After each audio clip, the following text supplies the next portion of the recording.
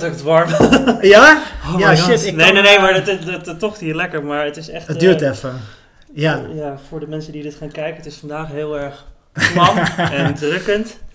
En eh, ik zweet heel snel. Dus, En je bent eh, helemaal komen lopen. lang komen lopen. 40 minuten vanaf Eindhoven Centraal. Ja, precies. Maar eh, leuk. En had je fijn vrij vandaag? Heb je druk? Ik, heb het heel, ik had het heel erg druk.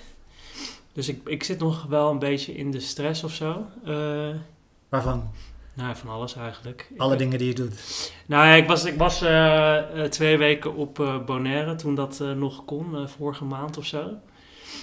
Maar je merkt gewoon als freelancer dat je eigenlijk niet twee weken weg kan, want al het werk stapelt weer op. Dus eigenlijk Ja, ja. sindsdien ben ik gewoon non-stop aan het werk. Deadlines aan het wegtikken, weekenden aan het doorwerken. Dat is eigenlijk pas sinds deze week een beetje rustig. Maar ja, ik merk toch dat ik een beetje gestrest ben. Ja? Maar Bonaire was dus niet eh, voor een reportage. Dat was gewoon De lekker eerste om te week was chillen. reportage, de tweede week heb ik aangeplakt als vakantie. Toen kwam mijn vriend ook. Dus toen heb ik even de, alleen de hoogst noodzakelijke dingen gedaan. Maar toch merk je dan dat alles weer opstapelt als je terugkomt. Ja, ja. Vind je het, vind je het fijn nog ZZP'er zijn? Nee, het is heel fijn. Ik doe echt alleen maar hele leuke dingen. En gelukkig ook, ik heb dan eh, ja, vorig jaar dat boek uitgebracht. Mhm. Daar zijn heel veel leuke dingen uit voortgekomen. Eh, dus inderdaad, hè, ik heb een wekelijkse column gekregen in eh, een aantal regionale kranten. Dat is super leuk, want dan mag ik over alles schrijven wat ik wil. Ja. Ondertussen hebben we een bij. Dat zijn dus ook weer van die dingen die, die dan kunnen gebeuren. En ik wil een bij ook niet doden. Ik ga hem zo wel proberen te vangen. Als Ja, hij... maar dat stoort er helemaal niet. Nee, denk je niet dat hij hem niet oppakt? De microfoon? Dat de luisteraar straks zo zit. Haal die kut bij weg. Haal die.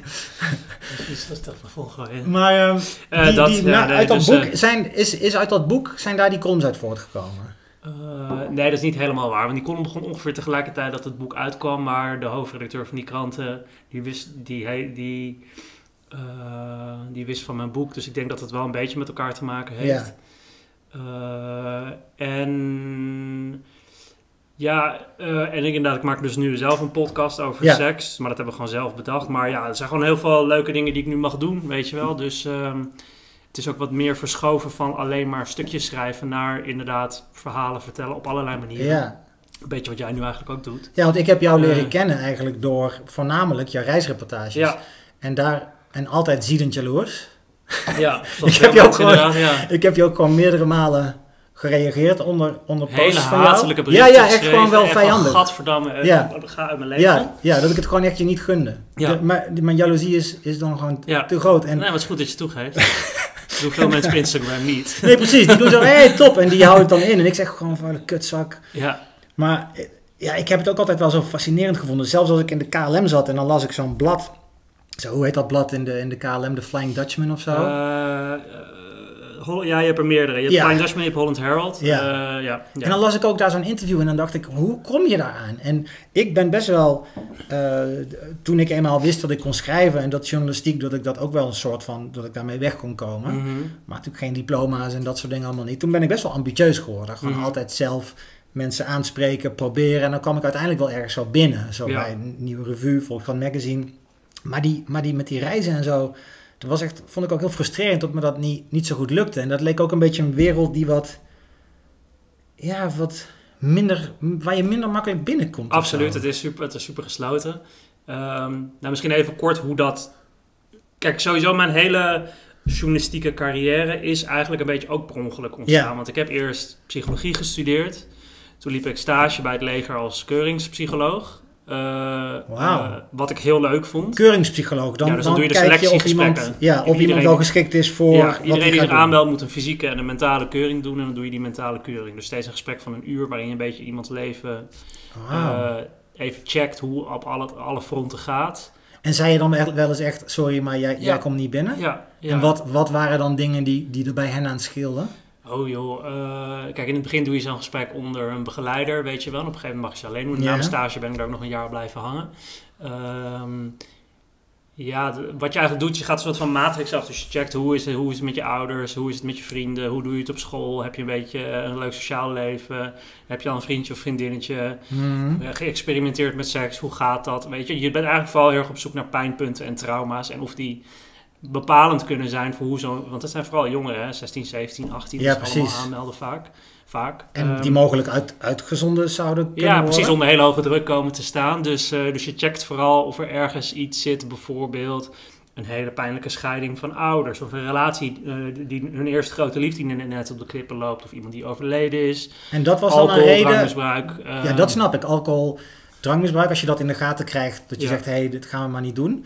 Maar als iemand, als iemand een soort trauma heeft van gescheiden ouders, dacht, dacht je dan al, oeh, kijk uit. Of... Nou, nee, nee, maar het gaat nooit om. Het, is het samen- gaat nooit om wat je meemaakt, het gaat om hoe je ermee omgaat. Ja, precies. Dus, dus hoe, je, hoe je kopingsmechanismen eigenlijk zijn. Dus praat je erover met je vrienden en vriendinnen. Kun je er überhaupt over praten? Of kop je alles op en ram je tegen de muur aan, weet je wel? Mhm. Dus daar vraag je heel erg naar. En je kon mensen voor een jaar afwijzen. Dan kon je zeggen van, nou ja, volgens mij ben je er nu nog even niet klaar voor, maar kom volgend jaar terug. En je kon mensen voor goed afwijzen. En dat waren mensen die gewoon, ja, behoorlijk ja, eh, met zichzelf... Ja, echt een beetje soms far gone waren. Ja? En had je dan ook het idee, want dat kan ik me goed voorstellen, hè, de, de, de, de redenen om het leger in te gaan, eh, dat kan ook te maken hebben met een soort fatalisme. Dat je gewoon, je hebt een soort woede of frustratie of je weet niet wat je wil met je leven en er zijn te veel opties. Mhm. En dat je dan zo'n handtekening zet en dan is het gewoon boom, dan is je leven bepaald. Snap je wat ik bedoel? Dan, en, en- ja, en dat ja. kan best een gevaarlijke motivatie zijn, denk ik, om, om het leger in te willen. Om de- een soort van fuck it, ik ga, weet je, zo- zo'n soort gevoel. Fuck it, ik ga het leger in. Nou, ik die- ga gewoon die- schieten. die- en, die, dat, dat is een heel klein groepje. En dat is, je hebt ook inderdaad bijvoorbeeld jongeren die zijn gepest. En dan zeggen, en nou ja, ik heb wel eens één of twee keer meegemaakt dat zo'n jongeren zeggen. En je moet vragen, je gaat met een, met, een, met een wapen werken. Heb je erover nagedacht dat je met dat wapen mogelijk iemand anders leven kan nemen? Of wat heb je over die... En dan zeggen sommigen, hè, ik heb of paar, paar keer meegemaakt dat zo'n jongen zegt van ja, maar ik werd vroeger gepest. Ik was altijd het lulletje en nu kan ik lekker mensen neerknallen. wow. dat, dat die zijn er, maar dat is echt eh, zeer zeldzaam. Wat ik vooral heel erg heb geleerd van mijn tijd bij eh, Defensie, want ik ging er ook als een soort van volledige pacifist in. Ik was heel Ja. erg tegen Ja, ik wou, ik wou eh, net zeggen. vechten het- en het- dat soort dingen en zo. Ja, past- maar ik heb het heel niet veel bij jou, respect gekregen voor, eh, voor de mensen die dit doen. Ja, die eh, bij de krijgsmacht eh, werken eh, met inderdaad alle risico's en gevaren. Ik heb er ook een ongelooflijk leuke tijd gehad. Het is een hele hechte organisatie, weet je. Ik werkte met zowel burgers als militairen samen. Ehm, en ik had het eigenlijk nog best wel... Na anderhalf jaar wilde ik mezelf ook laten omscholen tot militair psycholoog. Wauw. Had je dan ook echt met een pakje aan moeten lopen Dan, en ja, zo? Nou, dan had ik een Ja. korte militaire opleiding gedaan. Had ik, eh, omdat ik eh, WO geschoold was, de rang van kapitein gekregen. Ja, kapitein als kapitein Ali. Ali geweest. Dus dat, dat leek me al kicken. Ja, man. Maar ik was, pas, ik was 23 toen ik mijn eerste master haalde. En toen dacht ik van, ja, maar wil ik dit nou de rest van mijn leven doen? Toen dacht ik, nou, schrijven lijkt me op zich wel leuk, maar ik weet niet of het kan. Ja. Toen ben ik nog een journalistieke master gaan doen. En dat heeft eigenlijk weer die hele journalistieke Oh, oké. Je, bent daar wel voor... eh, opgeleid. ja, precies. Nee, ja, precies. Je bent wel daar voor een studie. Ja, dat is wel een master van anderhalf jaar waarin je een beetje de basisvaardigheden van nieuwsberichten, reportages, interviews schrijven. Nou, toen ben ik gewoon via stages en trainees bij de Volkskrant terechtgekomen. En om even nog jou terug te komen op dat reizen, dat is ook een beetje eigenlijk. Ik was dus niet iemand die al zijn hele leven droomde ervan om journalist te worden. Ik heb het op de Nee. middelbare school wel gedacht, ook getwijfeld tussen journalistiek en psychologie. Oh, maar dat is al best jong om überhaupt die optie te overwegen. Ja, mijn decaan zei toen van ja, oké, ja, leuk, dan ga je journalistiek studeren, maar waar ga je dan over schrijven? Ja, weet ik niet. Hij zei ja, dat was toen nog in de tijd dat je moest gaan studeren wat je leuk vond. Ja. Dat wordt nu niet meer geadviseerd aan jongeren. Toen zei, toen zei ze, ja, maar wat vind je anders? Ik zei, nou, psychologie. Hij zei, ja, ik kan ook psychologie gaan studeren en daarna journalist worden. En dan kan je vanuit die invalshoek wat ja, meer gedegen schrijven. Eigenlijk een heel goed advies geweest. Ja. En uiteindelijk heb ik dat ook gedaan. En toen ik eigenlijk bij de Volkskrant als trainee kwam, toen, ja, ik wilde gewoon zo vaak mogelijk stukken schrijven en met mijn naam in de krant staan. Ik deed alles wat me werd opgedragen en wat ik ook maar kon doen, deed ik. Eh, en zo begon ik eigenlijk op een gegeven moment met het reviewen van bed and breakfast. Of voor, dat was in het hele oldschool reiskatern. En had, je dat je- zelf, had jij daar zelf naar gehengeld of had jij dat zelf gepitcht? Nee, of er werd, werd er op een gegeven moment gezegd, één Haroon, chef reizen. En die, ik weet niet meer hoe dat eens ons is ontstaan, maar eh, volgens mij vroeg zij dat aan mij van, ja, wil je dat een keer doen? Of weet je, dat zijn van die dingetjes waar de ervaren journalisten geen zin in hebben. Of inderdaad een heel gezin en kinderen hebben, die hebben er helemaal geen tijd voor. Eh, en ik kon dat gewoon gaan doen. En ik vond dat, dat bleek ik eigenlijk heel leuk te vinden. Hoe je dus zo'n ervaring beschrijft. Met een beetje humor, een beetje tongue-in-cheek, weet je wel. Al die truttige dingen in die B&B's benadrukken, op een leuke manier spinnen. En zo ontstond dat een beetje dat ik ook ja, reisreportages net over de grens mocht Dus maken in Duitsland. En zo. ben je... Ja, je, je- Allemaal per ongeluk ontstaan eigenlijk. ja. Niet- En, en ook wel dus, want ik Want mijn, mijn euvel of mijn tekortkoming is dan dat ik zo ergens binnen wil komen. Ja. En dat ze dan zeggen, oké, je eerste reis is naar Bali of zo, weet je wel. Ja. Maar jij bent dus wel gewoon eerst inderdaad hostels gaan doen. ja, en mijn eerste echte Waar, waar mensen een beetje misschien op neerkijken. En, maar vanuit daar ben je dus naar steeds grotere reizen. Mijn eerste echte reisopdracht was, dat was iets wat de chef, de, de, de, de chef reisde die daarna kwam. Eh, die had zoiets van, nou, dit kan een leuke repen doen, maar ik heb daar zelf helemaal geen zin in. Dat was de, ze hadden de kerstmarkt in Keulen, volgens mij, nee, Keulen of Düsseldorf, een van die plekken net over de grens. Ja. Hadden ze een, een gay kerstmarkt, hadden ze helemaal eh, LGBT-friendly gemaakt. Ja. En toen dachten ze, oh, dat is wel gelachen als we Haroon daar naartoe sturen. Dat is mijn eerste reisreportage geweest. Maar ik heb veel van dat soort dingen moeten doen voordat ik naar... Maar ook wel lekker, want dat is natuurlijk een supergoeie, Ja. eh, dat zijn supergoeie mogelijkheden om te oefenen. Ja. Want je hebt dan die affiniteit. Ja. Je kunt een beetje met de blik kijken van iemand uit die cultuur. Mhm. Dan, dat geeft een soort zelfverzekerdheid. En vanuit daar is een soort springplank naar reizen die Ja. verder van je afstaan. Ja, en zo. ja Dus zo wel- is dat eigenlijk een beetje gegroeid. Dus inderdaad, in, eigenlijk, ik heb uiteindelijk drie jaar in dienst gewerkt bij de Volkskrant. Dus in die drie jaar mocht ik steeds meer doen. En toen ben ik daarna nog... Nou, ik ging weg omdat ik een jaar hoofdredacteur bij Vice was. Een beetje een jongere platform. Ja, ik ken de Jij Vice. kent Ben je daar ja. hoofdredacteur geweest? Eén jaar. Wauw. Eh, dat vond ik heel pittig. Het is een pittig bedrijf. Ja, hoe was dat ja? Want ik vind dat nog steeds zo'n vaag bastion met heel veel content die niet Nederlands is. Ja. Toch? Dat wordt dan zo aangevuld met Nederlandse content. Maar het meeste is gewoon klakkeloos overnemen wat je uit Amerika eh Ja, Vice krijgt. is eigenlijk een, een Noord-Amerikaans bedrijf met eh, vooral een hele grote Amerikaanse en hele grote Engelse takken. Die, die hebben ook de meeste mankracht, geld, middelen, dus die maken ook de vetste verhalen. En ze zijn ook echt bekend geworden met hele toffe, bijzondere oorlogsreportages over de hele wereld. Hele ja, gevaarlijke underground scenes in kaart brengen. Eh, en ik werd daar naartoe gehaald bij Vice om eigenlijk ja, Vice in Nederland wat journalistieker te maken. Alleen het was gewoon toen ja, een beetje een puinhoop. En ik hoef dat allemaal niet weer op te rakelen. Maar ik was ik Ah. zat daar gewoon niet op mijn plek. Ik zat, Dom maar, Roen. ik zat, nee, Ik nodig je toch niet voor niks uit? ja, maar dit is echt, eh, jongen, we hebben het over bijna, wat is het, eh, acht jaar geleden. Ja, maar ik vind het wel interessant, want die, die, die, dat Vice, ehm, ja, dat is, dat is best wel een soort, dat is soms een soort los parallel van de rest van de media of zo. En het leek ook een soort hele eigen doelgroep te hebben, toch wel voornamelijk in Amsterdam of zo, ook wel een beetje zo die, die feestcultuur. Ja, het is een beetje een hipstermerk, zeg maar. ja, Alleen, ehm, en dat is wel iedereen die er heeft gewerkt ook. En ik ken veel mensen die er ook na mij zijn gaan werken en weer weg zijn gegaan. Het is, ja, eh, zij hebben wel heel erg een beetje dat idee van branded content uitgevonden, denk ik wel. Waarin je eigenlijk naast hè, de journalistieke tak ook ja, allerlei reclamecampagnes of merken die dan betalen voor een soort van ja, semi-gesponsorde documentaire. ja, en daar wordt het altijd al een beetje En tricky, hè, dan wordt van, het tricky. En, en dat integriteit is uiteindelijk ja, waar het altijd toch wel knelde, in ieder geval toen ik er zat. van is jou dat, ook. is dat er gewoon heel veel geld wordt verdiend met die branded content. En dat er heel weinig geld terug werd gestopt in de journalistiek zelf. Ja, ja, ja, ja. en dan moet je dus voor heel weinig geld verslaggevers op pad sturen. of Ja, op een gegeven moment ben je meer een soort lakai of meer een soort van dingen in goede banen leiden, ja. dan dat je zelf nog creatief echt content mag. Nee, dus ik, eh, voel, ik vond dat ik heel erg vast zat in een soort van machtsstructuur waar ik me niet heel prettig bij voelde. En ik heb het dus, ik ga zeggen van nou, ik had een jaar contract, ik heb het een jaar volgehouden.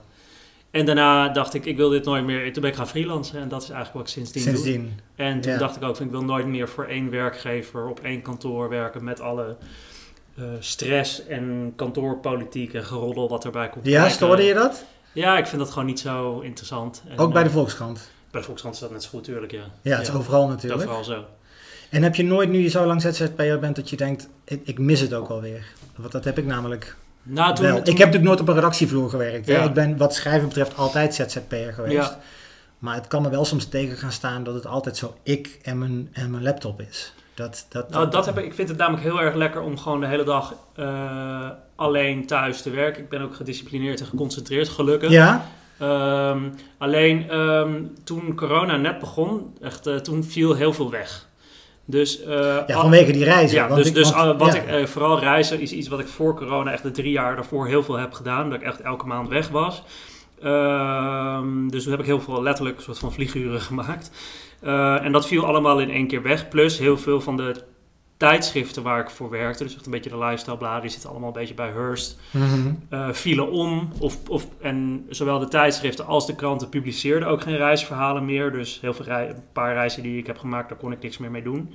Dus je, ik moest heel Oh shit, erg... je, hebt, je, bent ehm, wel, je bent wel gaan reizen, maar nou, dat was daarvoor nog allemaal. Vlak voordat, voordat eh, in februari vorig jaar nog ben ik nog naar Zuid-Afrika en Cambodja geweest. Heb ik uiteindelijk niks meer over kunnen schrijven, omdat ik het nergens kwijt kon. Maar wat, wat wel eigenlijk interessant was, eh, is dat, dat eigenlijk zowel dat coronajaar is voor mij... Het, het was voor iedereen natuurlijk een verschrikkelijk jaar, maar professioneel is het eigenlijk het meest interessante jaar voor mij geweest. Omdat het reizen stopte, maar ik had bedacht eigenlijk toen ik terugkwam uit Cambodja eind februari voor Mhm. het vorige boekenbal, weet je, Mhm. wat, het boekenbal wat nog door mocht gaan. Ja. Toen zei ik van oké, ik moet me nu drie maanden opsluiten om dit boek af te maken. Toen ben je half gaan schrijven. Nou ja, ik, ik, was al een heel eind, maar ik zei, ik moest, ik moest, Ja. ik moest eigenlijk van de eerste versie moest helemaal nog daar, daar uit. En, en ik had al van mezelf bedacht, vanaf maart moet ik mezelf opsluiten en toen brak de hele pleuris los. Ja, dus dat kwam Dus goed ik- uit. Het heeft voor mij perfect gewerkt, maar ik kon niks doen. Ik had geen afleiding. Ik zat gewoon tien uur per dag aan dat boek te werken en het is daardoor gewoon precies op tijd afgekomen, want het moest ongeveer voor 1 juli klaar zijn. Eh, dus, en dus, dus dat, dus, dus er viel veel werk weg, maar ik heb mijn boek kunnen afmaken. En dat boek kwam dan in september uit. Nou, net ook in een tijd dat ik nog even een boekpresentatie mocht Mhm. organiseren. In dat staartje van die zomer waarin alles weer even mocht. Eh, en door dat boek heb ik eigenlijk heel veel andere leuke dingen nu kunnen doen. Eh, nou ja, een column die heel veel gaat over dingen die in Nederland spelen. Veel meer verhalen en dingen die hier in. Nederland spelen. Een podcast die over iets anders gaat dan reizen. Eh, door dat boek eh, veel meer van die sprekersachtige dingetjes. Ook afgelopen jaar heel veel via Zoom, weet je wel, praatgroepjes, boeken, boek- boekenclubjes. Dus eh, gek genoeg, de eerste paar maanden van de lockdown had ik even wat minder werk op het gebied van reizen. Maar het reizen, ja, Bonaire, waar ik dus net naartoe was, was ook voor het eerst in nou ja, anderhalf jaar dat ik überhaupt het land was uit geweest. Ja, ja, ja. Dus, dus het, ik heb gewoon mijn hele soort van businessmodel, mijn werk Ja, precies. Het is, wel, het is wel veranderd bij jou ook. Je, je, je ziet dat wel gewoon, omdat je volgt iemand dan natuurlijk op social media Mhm. kanalen en zo. En je ziet dat je echt van reisreportages bent gegaan naar toch wel veel, veel meer geëngageerd. Nou, deed ik dat ook wel ervoor hoor. Want reizen was ongeveer een beetje een derde tot de helft wat ik deed. Ik deed Maar dan ook zie je het nu beter, denk Maar ik, nu heeft dat meer de focus. Door die kranten. En Ja. En ook, ook, weet je, ook door corona ben ik ook anders over reizen gaan nadenken, weet je wel. Eh, dat wou ik je vragen. Hoe, hoe, eh, kijk, je da- hoe, ja. hoe, hoe kijk je daarnaar, de, zeg maar, onze westerse, toch wel decadente eh, obsessie met reizen? En, en wat, ik, wat ik steeds vreemder ben gaan vinden, is, is dat je bijvoorbeeld, nou, stel zoiets als Tinder. mhm. Ehm, dat gewoon bij 80% van de mensen, vrouwen in dit geval, want die, Mhm. die zie ik dan op Tinder, ja. is reizen bij de drie of vier interesses. ja, deel van hun identiteit. Ja, het Ja. is dus niet meer, oh ik ga op vakantie en dat is leuk. Het, niemand heeft het ook maar echt over vakantie. Het is je Nee, gaat ja. reizen. En ook hoeveel mensen dan schrijven eh, life goal. Alle continenten van de wereld. Ja. En dan denk ik, maar wacht, jullie zijn allemaal eh, eh, generation ehm, millennials. ja. En we weten allemaal wat er misgaat en, en met het klimaat en dat, dat, je, dat, we, dat we dingen anders moeten gaan Mhm. doen. En waar is dan het, het zelfbesef of het besef van, oh, misschien is dat best wel een decadent streven om gewoon per se alle continenten van de wereld te Ja. willen zien. En overal met een vliegtuig dat tonnen CO2 Ja. over de, over het, over de, door de atmosfeer heen dumpt. Ja. Nee, maar ik deed natuurlijk precies hetzelfde. En ik ben ook Ja. een, eh, een, een, een millennial, oudere millennial. De oudst mogelijke Ik ook millennial. nog, ik nog net één jaar ook, hè? eh, 1980. Ja, ik 83. Dus inderdaad, wij zijn, wij zijn allebei hekkensluiter. bejaarde millennials. Ja. Zijn we. Maar ik had dat natuurlijk ook. Het was ook... eh, ik wilde ook eh, minimaal 50 landen in de wereld gezien hebben. Nou, volgens mij zit ik daar dan nu op. En inderdaad, het was heel erg... Vooral toen ik veel reizen maakte en reis, mezelf reisjournalist kon noemen... eh, was dat zeker heel erg deel van mijn identiteit. En Ja. snapte ik ook wel dat het allemaal hartstikke slecht voor het milieu was. Eh, en dat ook het, alleen al het schrijven van reisverhalen... waar je eigenlijk, waar je eigenlijk Ja. andere mensen weer Je aanspoort... om ook al die verre Ja. reizen te maken... Ja, Eh, zag ik heel erg als een soort van noodzakelijk kwaad. Want inderdaad, reizen wordt elk mens beter van. Dat is uiteindelijk denk ik wat heel veel mensen voor corona heel erg, eh, denk ik, zichzelf voorhielden. Van, tuurlijk moet de wereld verbeterd worden, we moeten aan het milieu denken. Maar de, de, de ontwikkeling die reizen je geeft, hoe, hoe het je een mentaal, geestelijk rijker mens maakt. Hoe je hè, eh, sensitiever wordt voor andere culturen. maar is dat zo? Want, want jij, kan dat, jij, kan, jij kan daar antwoord op geven. Want ik ben daar soms best wel sceptisch over. Ik denk soms ook wel eens, je kunt ook, als je hier in Eindhoven in best wel een goede wijk woont, Ja. dan zou je ook naar Woensel West kunnen reizen Ja. met de fiets. Ja, En daar is eh, in, een, in een voornamelijk Marokkaans-Turkse buurt ja, op bezoek kunnen. ja. En dan heb jij waarschijnlijk diezelfde expansion van eh, je bewustzijn. Het is ook altijd zo van, nee, maar daar ga ik niet naartoe reizen. Ik ga Ja, naar bedelaars in India kijken. En, ja, want dan zie je pas wat... wat eh, Nee, nee, dat is ook wel zo. En ook juist om. eh, uiteindelijk is het. Ja, dat klinkt, dan allemaal heel erg happiness-achtig. Maar Mhm. inderdaad, kijk, je kan, je kan inderdaad als een complete hork naar de andere kant van de wereld vliegen en alsnog niks leren. Of inderdaad gewoon een, een, een, een, open-minded geest Ja. hebben. En inderdaad gewoon contact maken met je buren en daarvan leren. Ja, En daar meer van opsteken dan de persoon die ja in het dat denk ik vliegtuig wel naar dan. Dus dat, dus of vrijwilligerswerk of zo, weet je. Bij een, bij een, bij een eh, food kitchen of heet dat. En, Ja. eh, ehm, ja, ik, ik, ik merk dat ik er zelf steeds meer ehm, moeite mee heb. Ook bij mezelf. Weet je wel, dat toen... ehm, eh, ik had allebei mijn zoons heb ik beloofd. We doen een reisje, op een Ja. eh, vader- en zoonreisje. Ja. Zo rond je elfde. Mhm. En mijn oudste is nu 14, dus wij gingen naar Barcelona een weekendje. En ook Ja. gewoon vliegen en daar heb ik verder niet echt bij Mhm. nagedacht. Maar nu is mijn jongste is bijna 11 Mhm. en er komt ook het reisje eraan. En dan merk ik, denk ik toch, ja, gaan we dan gewoon weer zo'n vliegtuig pakken? Of probeer ik dan toch een beetje een treinreis of zo? En ik zeg, niet, ik zeg dat niet uit een soort morele superioriteit, maar het begint, het begint wat meer te knagen. En, en, nee, maar en- ja, dat heb ik ook hoor, zeker. En ook juist door gewoon een, een jaar lang niet die identiteit van reisjournalist te kunnen claimen. En gewoon letterlijk vast te zitten in Nederland. Ook echt Ja. niet eens naar België of Duitsland te zijn. Ik kan ook niet auto rijden, dus wij konden ook niet even in de momenten dat we Ah, konden auto pakken. Dat is wel grappig. Je dus bent echt een reisjournalist die februari vorig jaar tot nou, een maand geleden ben ik gewoon echt alleen in Nederland geweest. Ook Nederland heel erg opnieuw ontdekt. Allemaal weekendjes weg in Nederland met vrienden. Ja. Fucking leuk. Ehm, dus, dus eh, ik wil ook niet zeggen dat ik nu het licht heb gezien en nooit met een vliegtuig zal stappen. Maar ik snap zeker dat dat niet houdbaar was wat ik deed. En, eh, en ja, hoewel jij deed professioneel en... Ik, ja, maar dat is je, natuurlijk uiteindelijk ook maar Het is hetzelfde, maar ik, bedoel, denk, ik, eh, ik, ik vind het lastiger toch dat je op individueel niveau. Eh, volgens mij schrijft Roxanne van Ypres hier ook vaak over. Ja. Hè? Dat, dat het heeft niet zoveel zin om elkaar de maat te nemen op ja, individuele. consumentenactivisme. Ja. ja. Zo van, eh, oeh, maar vlees eten minder en ik eet minder vlees en jij nog steeds heel veel. Dat daar gaat nooit het antwoord in zitten. En we zijn allemaal in die zin hebben we gewoon een te zwakke ruggengraat. Weet Ja, je wel? kijk, dus je ik- moet toch een soort overheid hebben of iets van een instantie die zegt, luister, vliegen is gewoon nu moeilijker. En dan heb je er ook veel, minder, veel meer, uh, makkelijker vrede mee, denk ik. Nee, maar dat, er zijn ook wel van die ontwikkelingen gaande nu, waar, waar ik heel erg voor ben. Is dat er zijn bijvoorbeeld nu het nachtnetwerk van de treinen in Europa aan het Ja, uitbreiden. godzijdank. zodat je gewoon inderdaad een slaaptrein naar Barcelona kan nemen. Ja. Hoe leuk Alleen, ook, toch? Hoe Hartstikke leuk, alleen het kost twee, twee of drie keer zoveel als een vliegticket. Ja.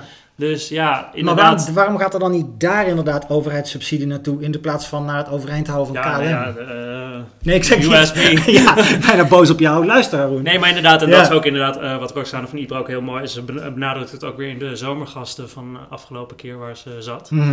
Eh, van ja, je kunt niet zo met de vinger naar elkaar gaan wijzen van waarom pak je het vliegtuig, waarom pak je niet de trein, waarom ga je daarheen, waarom ga je Nee. niet daarheen.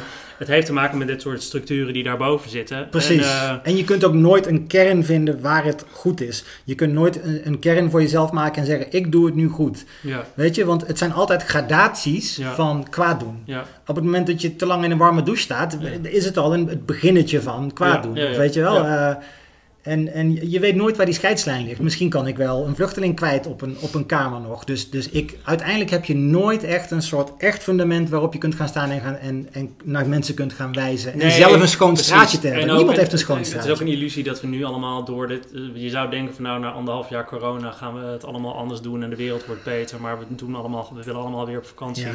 En eh, ja, ik heb ook wel eens dit soort discussie vroeger met vrienden gehad. Hoor. Zeiden ze, oh, waarom stap je elke maand het vliegtuig? Zeg, ja, nou ja, jij hebt twee of drie kinderen, ik niet. Precies. Weet je wel? Ja. Dan, dan zeggen ze, ja, maar dan kun je niet met elkaar vergelijken. Ik zeg, hoezo niet? Ja, hoezo niet? Ja, weet je, dan krijg je dat soort discussies en dat schiet je eigenlijk helemaal geen reet mee op. Ja, Ehm, maar eh, eh, het feit dat ik, dat ik niet kon reizen, heeft me wel bewust ik, dat ik naar Bonaire kon. En dit was inderdaad weer voor werk, maar dat mijn vriend een week later erachterna kwam. Dat ik eindelijk ja, weer met hem gewoon even op een andere plek was in de zon. Ja, Eh, precies. Ik bedoel, we hebben er Lekker, echt heel joh. veel van genoten. Juist ook omdat we het zo lang niet met z'n tweeën op vakantie überhaupt waren gegaan. en Bonaire is leuk. Toch? Eh, ja, ja. niet te lang, maar ja, ik heb ze nu alle, alle drie gezien, de ABC-eilanden. Oh. ik ben er ook veel geweest. Eh, ja, nee, het is een, eh, vooral Bonaire is heel klein. Het is heel, je kan allemaal hele leuke dingen. Ik vind het wel, ja, ik wil niemand voor het hoofd stoten, maar ik vind het wel een heel bijzonder slag mensen wat daarheen gaat. Mhm.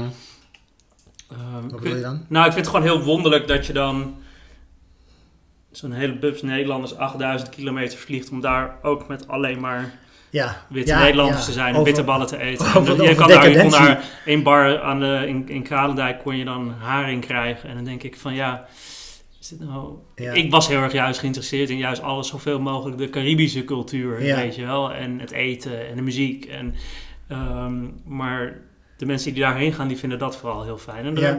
het is een goed recht Nou ja, weet je, ik snap bedoel- precies wat jij bedoelt, want, want daar is het zo overduidelijk een soort van decadentie waar je gewoon bijna soms van walgt. Aan de andere kant zit je weer nog steeds met hetzelfde probleem van dat wijzen van ja, zij zijn dan echt een soort uiterste voor ons. Ja. En dan, maar nog steeds is het weer zo. Zij, Ja. kunnen, ook, zij, zij kunnen ook omdraaien naar, naar jou wijzen. En Nee, oh, dan kom je naar de reisjournalist. Ja, precies. Dan krijg je heel een haring van, weet je, zij vieren vakantie en ik ben aan het reizen. En Ja. dan, daar zit ook weer zo'n waardeoordeel in. Dus, eh, maar dat vond ik vooral, ik vond het vooral grappig om te zien. Ja, ook dat is de Eh, cultuur. En, ik Ook daar dat is iets eh, waar je over kunt schrijven. Tuurlijk, dat, zeker. dat want ik hoe, moest ook een hoe vatsig Dat heb ik, ook, Nederlanders heb ik zeker haring geschreven. in hun mond duwen. Ehm, dus, maar, Maar die ja. haring, die haring, eventjes tussendoor nog. Kwam die uit ook- Nederland. ja, die wordt ook nog eens een keer Ja, overgevlogen. ja, die zwemt daar volgens mij niet eens. nee, nee, die kwam, die kwam uit Nederland. Dus, oh my eh, god. nee, maar dus eigenlijk, ja, even de afgelopen jaar is er wel gewoon heel veel veranderd. Ja. Voor mij, ook voor mij persoonlijk dus wel. Merk, Maar eigenlijk, vooral eigenlijk ten positieve. merk je dat er iets aan het verschuiven is met wat betreft de, de wat meer geëngageerde stukjes die jij schrijft en het, en het publiek? Ik heb daar trouwens niet voor niks een vaatdoekje neergelegd, houden. Dit is jouw onderzetten. Oh, sorry, sorry. Want die, Oh, eh, oh, oh, die maakt, die maakt eh, klappen in de microfoon. Anders... eh Dit zijn, het zijn vaatdoekjes. En ja, dat je geen kring op je tafel wilde. Nee, jawel, er mag, er mag alles op de tafel. Maar het is voor het geluid. Oké, ja. Ehm, ja, merk je dat je daar nu een groter... Dat meer mensen dat lezen dan eerst? En, en dat, dat, een, dat, dat dat meer effect heeft? Bijvoorbeeld als jij Ehm. schrijft over ehm, homoseksualiteit of eh, racisme of dat soort dingen. Is dat nu... Is die ja, megafoon luider geworden? Ja, ik, ik heb daar altijd wel een beetje, eh, vooral toen ik begon als journalist, toen begon ik vaak met een beetje inderdaad leuke, luchtige stukjes te schrijven. Een beetje over popculturele dingen, een beetje met humor erin. En dat is natuurlijk ook heel leuk om te doen. Maar ik merkte dat daar toch misschien ook, Ook wel veilig. een beetje veilig inderdaad. Er zat misschien toch een beetje een angst in om inderdaad ja, de moeilijke dingen op te zoeken, wat zwaarder, wat gewichtiger te worden. En echt ja, wat, wat, eh, eh, zo hoe heet het, eh, eh, tegels te lichten zeg maar over bepaalde dingen. En ik denk wel dat eh, ja, ik denk daar de afgelopen twee jaar of zo, dat ik daar inderdaad wat meer ja, zelfverzekerder in ben geworden. Van oké, dat durf ik ook. Ik durf daar stelling in te nemen. Ik durf nou ja, die ongemakkelijke gesprekken aan te gaan. Was dat Eh, eerst moeilijker? En zo ja, waarom dacht je dan, Ja. ah, ik, wat weet ik nou? Of, eh, Dat, wat weet ik nou? En... eh, ehm, of dat mensen je zouden, dat je van die commentaren krijgt dat mensen je uitlachen. Of kijk dan dit, deze jongen probeert om ja, het is altijd, intellectueel te doen. Of, Nou, dat niet eens zozeer. Wat ik bedoel, ik hoef niet... Ik ben niet bezig met vinden mij wel mensen mij wel slim of highbrow genoeg. Of, Nee. eh, ik hoef ook niet de hele tijd zo te pochen met van... Oh, eh, ik ben dit aan het lezen. Of ik, ik ben dol op poëzie, weet je wel. Ik heb niks met poëzie. Ja, sorry, dit zo be it, weet je wel. Ja, ja. Dat, dat is voor mij nooit een, een ding geweest. Alleen ik denk wel, eh, en daar gaat mijn boek natuurlijk ook heel erg over, van weet je, eh, ik ben dan half Pakistaans, half Nederlands en dat Mhm. heel lang zoekende geweest in wat is dan mijn plek in Nederland. Ik denk dat ik toch best wel lang bezig ben met geweest van gewoon vooral erbij willen horen. Dus ook toen ik bijvoorbeeld bij de Volkskrant werkte, vooral niet bezig te zijn met die afkomst en mijn geaardheid en, en gewoon deel te zijn van een redactie en overal over te kunnen schrijven. Eh, juist dingen die verder van me afstonden. Maar ja, ik denk dat toch gaandeweg merkte ik juist dat die persoonlijkere... Toen ik op een gegeven moment ook hè, wa- wat meer ervaring had... en persoonlijkere essays ging schrijven over ja, mijn afkomst, mijn opvoeding... wie ik ben, mijn relatie Mhm. eh, met mijn vriend, weet je wel. Dingen die bij ons spelen. eh, dat die juist eigenlijk veel meer lezers raakten. En, en, en dat daar herkenning in vonden. En eigenlijk heel blij waren dat, dat, dat je daarmee... dacht ik, oh, wacht eens even. Er zit heus wel iets in mij wat, wat misschien ja. eh, ja, verkend mag worden. En dat heeft er toen ook geleid dat ik toen, nou weet je, dan ga ik ook een keer dat hele persoonlijke boek schrijven over wie ik ben en waar ik vandaan kom. En die frictie tussen mijn afkomst en mijn geloof en mijn geaardheid. Nou ja, en to- als je dat eenmaal uit de weg hebt geruimd door dat boek te schrijven, dan ben, sindsdien ben ik ook denk ik wel zelfverzekerder om inderdaad al die persoonlijke kanten van mezelf te gebruiken om hopelijk wat grotere dingen in de maatschappij eh, aan te zwengelen. Ehm, Was het belangrijk om voor jou dat de reactie op dat boek goed was? Om dat zelfvertrouwen uit dat boek te kunnen halen? Of was het schrijven ervan, maakte dat al genoeg los? Nou, het was ook een beetje tegelijkertijd ook eigenlijk ook in, in het jaar voordat het boek uitkwam, ben ik ook al veel meer geëngageerd. Ook de reisverhalen die ik schreef gingen ook veel meer over dus het ging meer samen. ongelijkheid, weet je wel. En over discriminatie en over gay culture op allerlei plekken.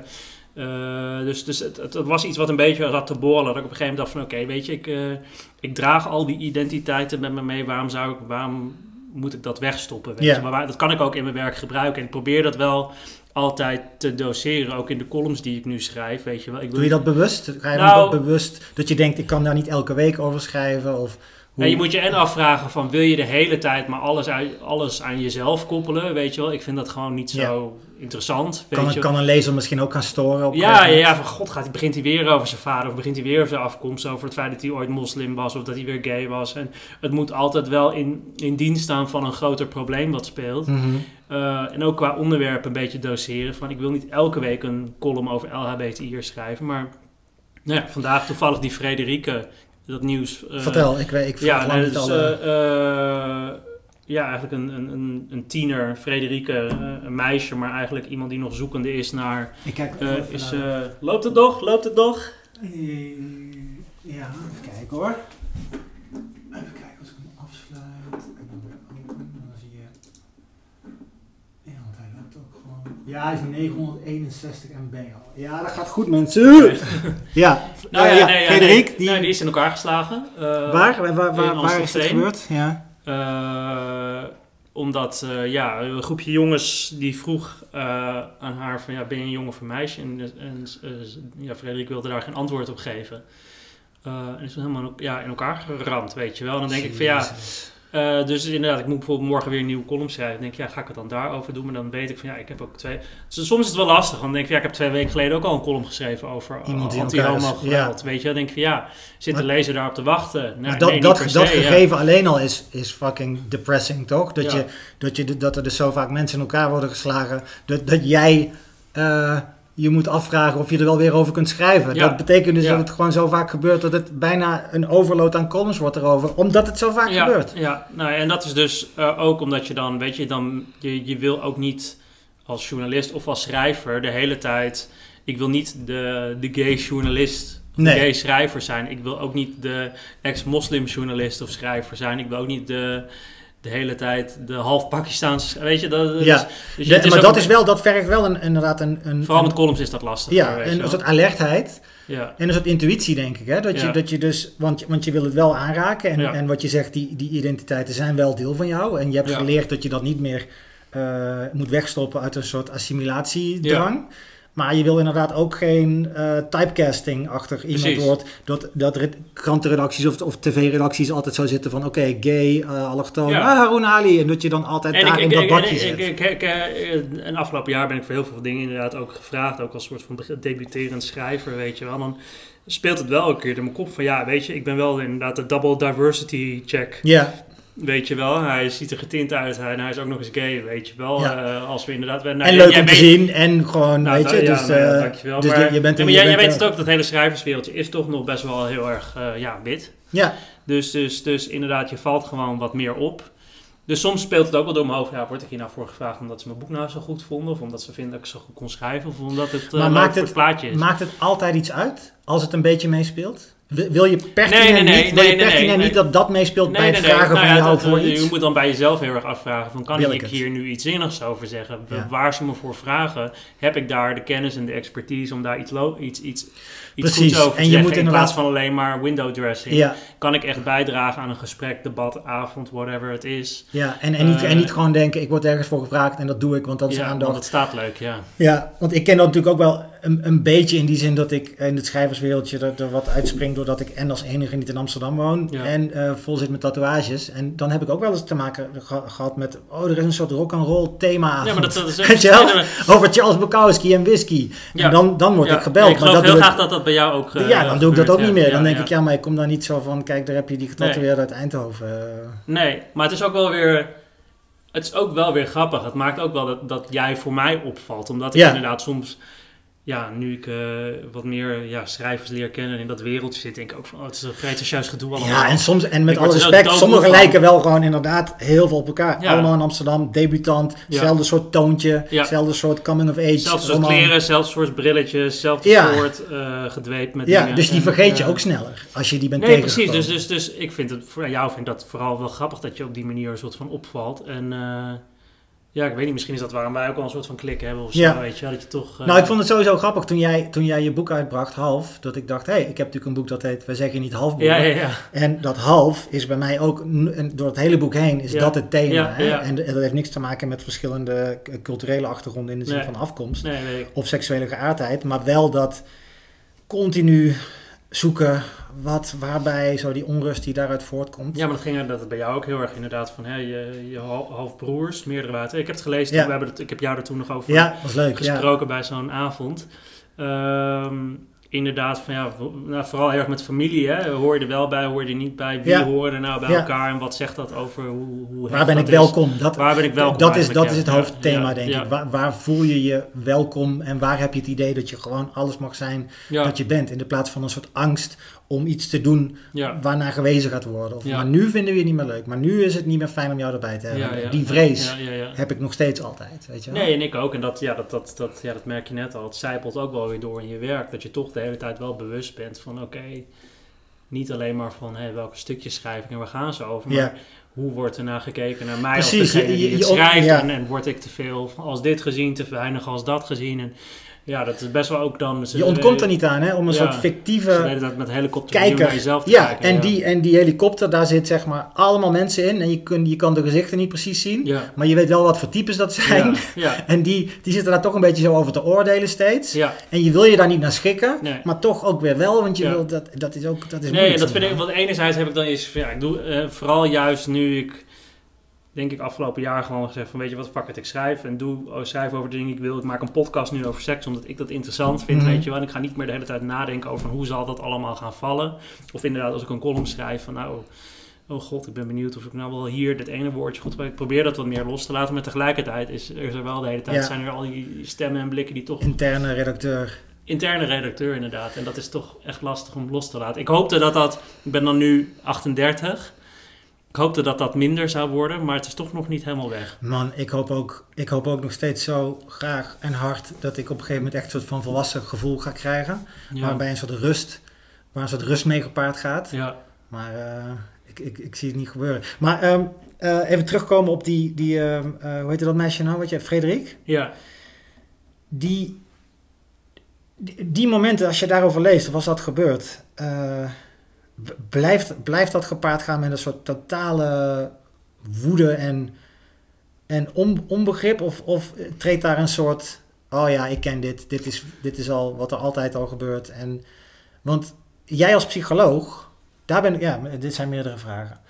Jij als psycholoog, jij hebt dus ook mensen... sociaal psycholoog, hè? dus eh, ik ben niet een therapeut. Nee, nee, nee, maar, dus, maar, eh, maar toch de vraag: waar ontstaat die woede mhm. van die daders? Ja, Wa- waar gaat dat naar het mishandelen van iemand? Ja, en, en, niet, niet- en dan ook nog eens een keer met een, met een groep. Dus dat je dus vindt dat het terecht is dat Ja. iemand die geen enkele kans heeft om terug te vechten, dat die dus gewoon eh, totaal in elkaar geschopt in het ziekenhuis komt. Wie, wa- waar ontstaat dat? Ja, wat, wat voor kijk, jeugd heb je je- dan gehad? Of, Nou ja, eh, eh, vanuit de sociale psychologie zou ik dingen kunnen zeggen als van oh, hè, groepsdruk en als er één begint, dan kan je als andere jongen in die groep niet achterblijven, moet je er allemaal op af. Mhm. En eh, het is ook een vertoon naar elkaar toe van kijk, kijk eens hoe stoer wij zijn en eh, het creëert daarmee weer, het versterkt de band die zij met elkaar misschien hebben als jongeren, maar dat zou je allemaal over kunnen zeggen. Maar ik kan, ik, ja, ik kan, ik kan er echt niet met mijn verstand bij hoe je hoe je gewoon over straat loopt en je ziet iemand aan de andere kant van de straat die nou ja, er op een bepaalde manier uitziet die jij niet kan plaatsen, dat je dat. Dat je dan overgaat op inderdaad het fysiek aanvallen van diegene, omdat jij dat niet in je hoofd kan begrijpen. Eh, ja, ik, ik, daar begrijp ik echt Maf, niks hè? van. Ik, ik blijf dat een van de meest... Net zoals, maar dat is met alles ook. Waar, waarom, zou, waarom zou het jou moeten storen dat twee homo's hand in hand lopen? Ja. Of wat ze in hun, bed, in hun slaapkamer met elkaar doen. Die, die, die woede voor het andere, voor het anders zijn, dat, dat blijft zo'n ja, maar dat je ook het recht hebt dat je, dat je denkt dat je daarmee mag bemoeien. Ja, Weet je wel? Ja bedoel, precies. eh, ja, wanneer denk je, ik ga aan eh, iemand anders zitten en, en dat is mijn, daar doe ik iets goeds mee ook of zo. Ja. En, ehm, Dus, dus ja, nee, dat, dat, eh, dat is iets wat ook ja, wel vanochtend onderweg hier naartoe heel erg door mijn hoofd speelde. Ehm, en ehm, ja, ik, ik, ik vind het lastig. Ja, eh, ehm, eh, ik vind ook, dat vind ik eigenlijk met heel veel dingen. Dat is ook als journalist, dan word je toch op een gegeven moment. Vooral als je veel over dingen, dit soort dingen schrijft, zoals mhm. discriminatie, ongelijkheid, eh, fysiek geweld, grensoverschrijdend gedrag, weet je wel. Je hoort het de hele tijd, is dat je er ook een beetje soort van, van af, voor afgestomd wordt Ja. of zo. Dus inderdaad, je vindt het heel erg. Ehm, maar het is niet dat, dat, dat ik er de hele tijd emotioneel van word. En dan, maar ik merk dan nu, als je dan een beetje moe en gestrest bent, dat soort al die kleine dingetjes bij elkaar opgeteld. Mhm. Plus natuurlijk die hele, al die corona fuck-ups die elkaar ook blijven opstapelen. Dat je de Mhm. hele tijd, enerzijds ben je dan een soort van heel erg afgestomd. Maar het, het, zijn wel van die kleine dingetjes die cumulatief steeds toch wel iets met je doen. Dus ik Ja, merk wel dat. Dus ik, ik zeg nu van, oh ja, ik ben een beetje gestrest. Maar ik ben ook een beetje gestrest door over alles wat er gewoon gebeurt. Dat heeft niet alleen met werk te maken of hoeveel deadlines ik heb. Gewoon Maar ook gewoon de, de, de, de irritante nieuwsfeiten die elkaar opstapelen. Eh, of nee, inderdaad, we hadden het toen net binnenkwam, wij zijn nu allebei dubbel gevaccineerd. Ja, En dat we er eigenlijk helemaal nul profijt van hebben, want we kunnen nog niks. ja. Weet je wel, dat, dat daar... Daar reageer ik dan een beetje gelaten op als ik dat dan weer in het nieuws lees of een Volkskrant artikel van nou, je kan het alsnog doorgeven aan anderen. Maar het raakt je natuurlijk wel, alleen niet op een hele heftige manier. Maar al die nieuwsfeiten bij elkaar maken denk ik wel iedereen, ik zie het in ieder geval in mijn vriendenkring, iedereen is best wel opgefokt. Ja, ja. Een soort van onbestemd gevoel waar je, kan niet zo goed, ja, je weet niet zo goed waar je met jezelf heen moet. En zoiets als dit dan, eh, weet je, dat Komt er ook- dan bij of zo? het komt er dan bij en ik, ik merk dan in de trein post ik daar dan iets over, weet je wel, wat, wat, wat haar vader heeft gepost. Eh, en dat ze zo goed voor zichzelf opkwam. En eh, even kijken, van eh, je mag zijn wie je wil zijn, weet je wel. Dat is een Mm, heel mooi statement. En dat post ik dan en denk ik van ja, ik heb dat nou op Instagram gepost, maar ja. En dan en dan, weet je wel, en dan zie ik dat iedereen dit op zijn Instagram post. En dan, denk je eh, dat je... Wat, wat, alsnog zit iedereen een beetje een soort van Ja, en, en je, je hebt natuurlijk ook altijd thuis. de, de paradox of het, of het moeilijke van het gegeven dat bijna alles wat jij post of wat ik zou posten of zo, is ook eh, preaching to the choir. Ja, absoluut. En, en dus dat vind ik soms een deprimerende gedachte. Dat je Ja. allemaal eh, foto's kunt, kunt plaatsen van, vanuit support. ja. En dat je nooit die, die, die jongens die dat gedaan hebben daarmee bereikt. Hun, hun ouders daar ook niet eh, mee bereikt. Nee. Eh, dat is zo'n ander universum. En ja, ik denk daar toch wel veel over na, wa- wat die woede creëert. Ik denk dat het toch ook gewoon heel vaak is dat je dingen in jezelf herkent die ook anders zijn, Ja. op welke manier dan ook. En dat je voelt, ik zit een soort van, ik moet me gedragen naar de wensen van mijn ouders, naar mijn pa. Mhm. En die zegt ook gewoon, je moet gewoon een vent zijn. En dus Ja. dat doe jij ook. Ja. En het feit dat jij daar niet uit durft te treden, dan haat je het als iemand anders, dan zie je iemand op straat lopen en die loopt gewoon lekker eh, met de kleren aan die ze wil en die doet, we- weet ik veel, die, die, die gedraagt zich hoe ze wil. Dat je dan denkt, hoezo jij wel? Jij moet dan ook, jij moet dan ook binnen de, de kaders van het Nee, zeker, zeker. En, eh, Heel veel Ja. geweld tegen homo's is volgens mij ook echt, daar ben ik van ja, overtuigd, mensen dat daar zelf, latente, zelf la- mee, ja. En- latente homoseksualiteit zit. Nee, ja, het is gewoon eh, wat je haat in anderen. Dat, dat, dat, Ergens je je haat dat- het omdat ja. het je met jezelf confronteert. Juist, Dus ergens wil je, er, zie er je wordt iets, getriggerd wat eigenlijk over jou gaat. ja, je ziet een Eh, kant van jezelf en die wil je eh, niet zien, en die wil je niet wegstoppen. zien En inderdaad, dus dan moet je het maar of in elkaar rammen. Ja, je maakt het kapot, je maakt het extern kapot, ja. zodat je het idee hebt dat je het in jezelf ook... Ja. En doet dat is ook met, ja, dat is met allerlei haat, eh, weet je, racisme, haat tussen religies. Het is confronteert je met een kant van jezelf waar je niet geen raad mee weet. En de enige manier voor sommigen is om, om dat maar eruit te slaan. Ja. Maar eh, ja, het is. eh, Hoe voel, hoe, want omdat je ook zoveel gereisd hebt, hoe, hoe voel jij je over Europa en de kant waar dat op gaat? De landen als Hongarije, waar ja, nee, ik, heb, ik heb steeds- daar een, eh, laatst een column over geschreven. Ik vind dat, ik vind dat heel erg. Rusland, Polen, Hongarije. Ik geloof volgens mij Slovenië gaat ook een beetje die kant Waar ze op. die wetten zelfs Eh, hebben aangenomen. Ja, maar dat vooral Polen en Hongarije. Ja, ik vind die horen zoals al op deze manier niet in de EU thuis. Nee. Ehm, en ehm, ik vind, het ook, ik vind het ook zo lastig. Ik bedoel, ik ben niet, hè, ik ben niet een expert op het gebied van, van de EU en, en, en de Mhm. politiek van de EU, zeg maar. Maar dan worden er hè, bedacht van, nou, dan moeten we er maar sancties gaan instellen. En dat, dat, dat duurt dan ook een eeuwigheid voordat dat daadwerkelijk kan worden toegepast. En dan nog denken die landen van, ja, zoek het lekker uit, Ja. weet je wel. En, ehm, want voorlopig blijven ze toch geld krijgen. En ook dat, dat je eigenlijk niet dus om echt gewoon, ja, bijna... eh, wetten en, en, principes die tegen gewoon de, de, de, de grondwet van de EU ingaan. Dat je niet kan zeggen, oh, we kicken jullie eruit. Dat kan dan kennelijk niet. Nee, je kan dat is niet zomaar een land uit Ja. de EU kicken. Weet je wel. ehm, ja, dat zijn gewoon... Dat, dat, het maakt je niet per... Ik ben, ik ben heel erg pro-EU en ik hou van Europa. En ik vind dat we echt verenigd moeten zijn. En ik vind dat we inderdaad ook gedeelde normen en waarden moeten hebben... van tolerantie en vrijheid. En, ehm, maar het, het maakt je niet heel erg positief over het structuur van de EU. En ik, dat heel veel mensen daar kritiek op hebben over dat het zo'n logge, geldslurpende machine is die eigenlijk weinig zeggingskracht meer heeft. Snap ik wel. Ja, zeker. En ook, en ook gewoon zo.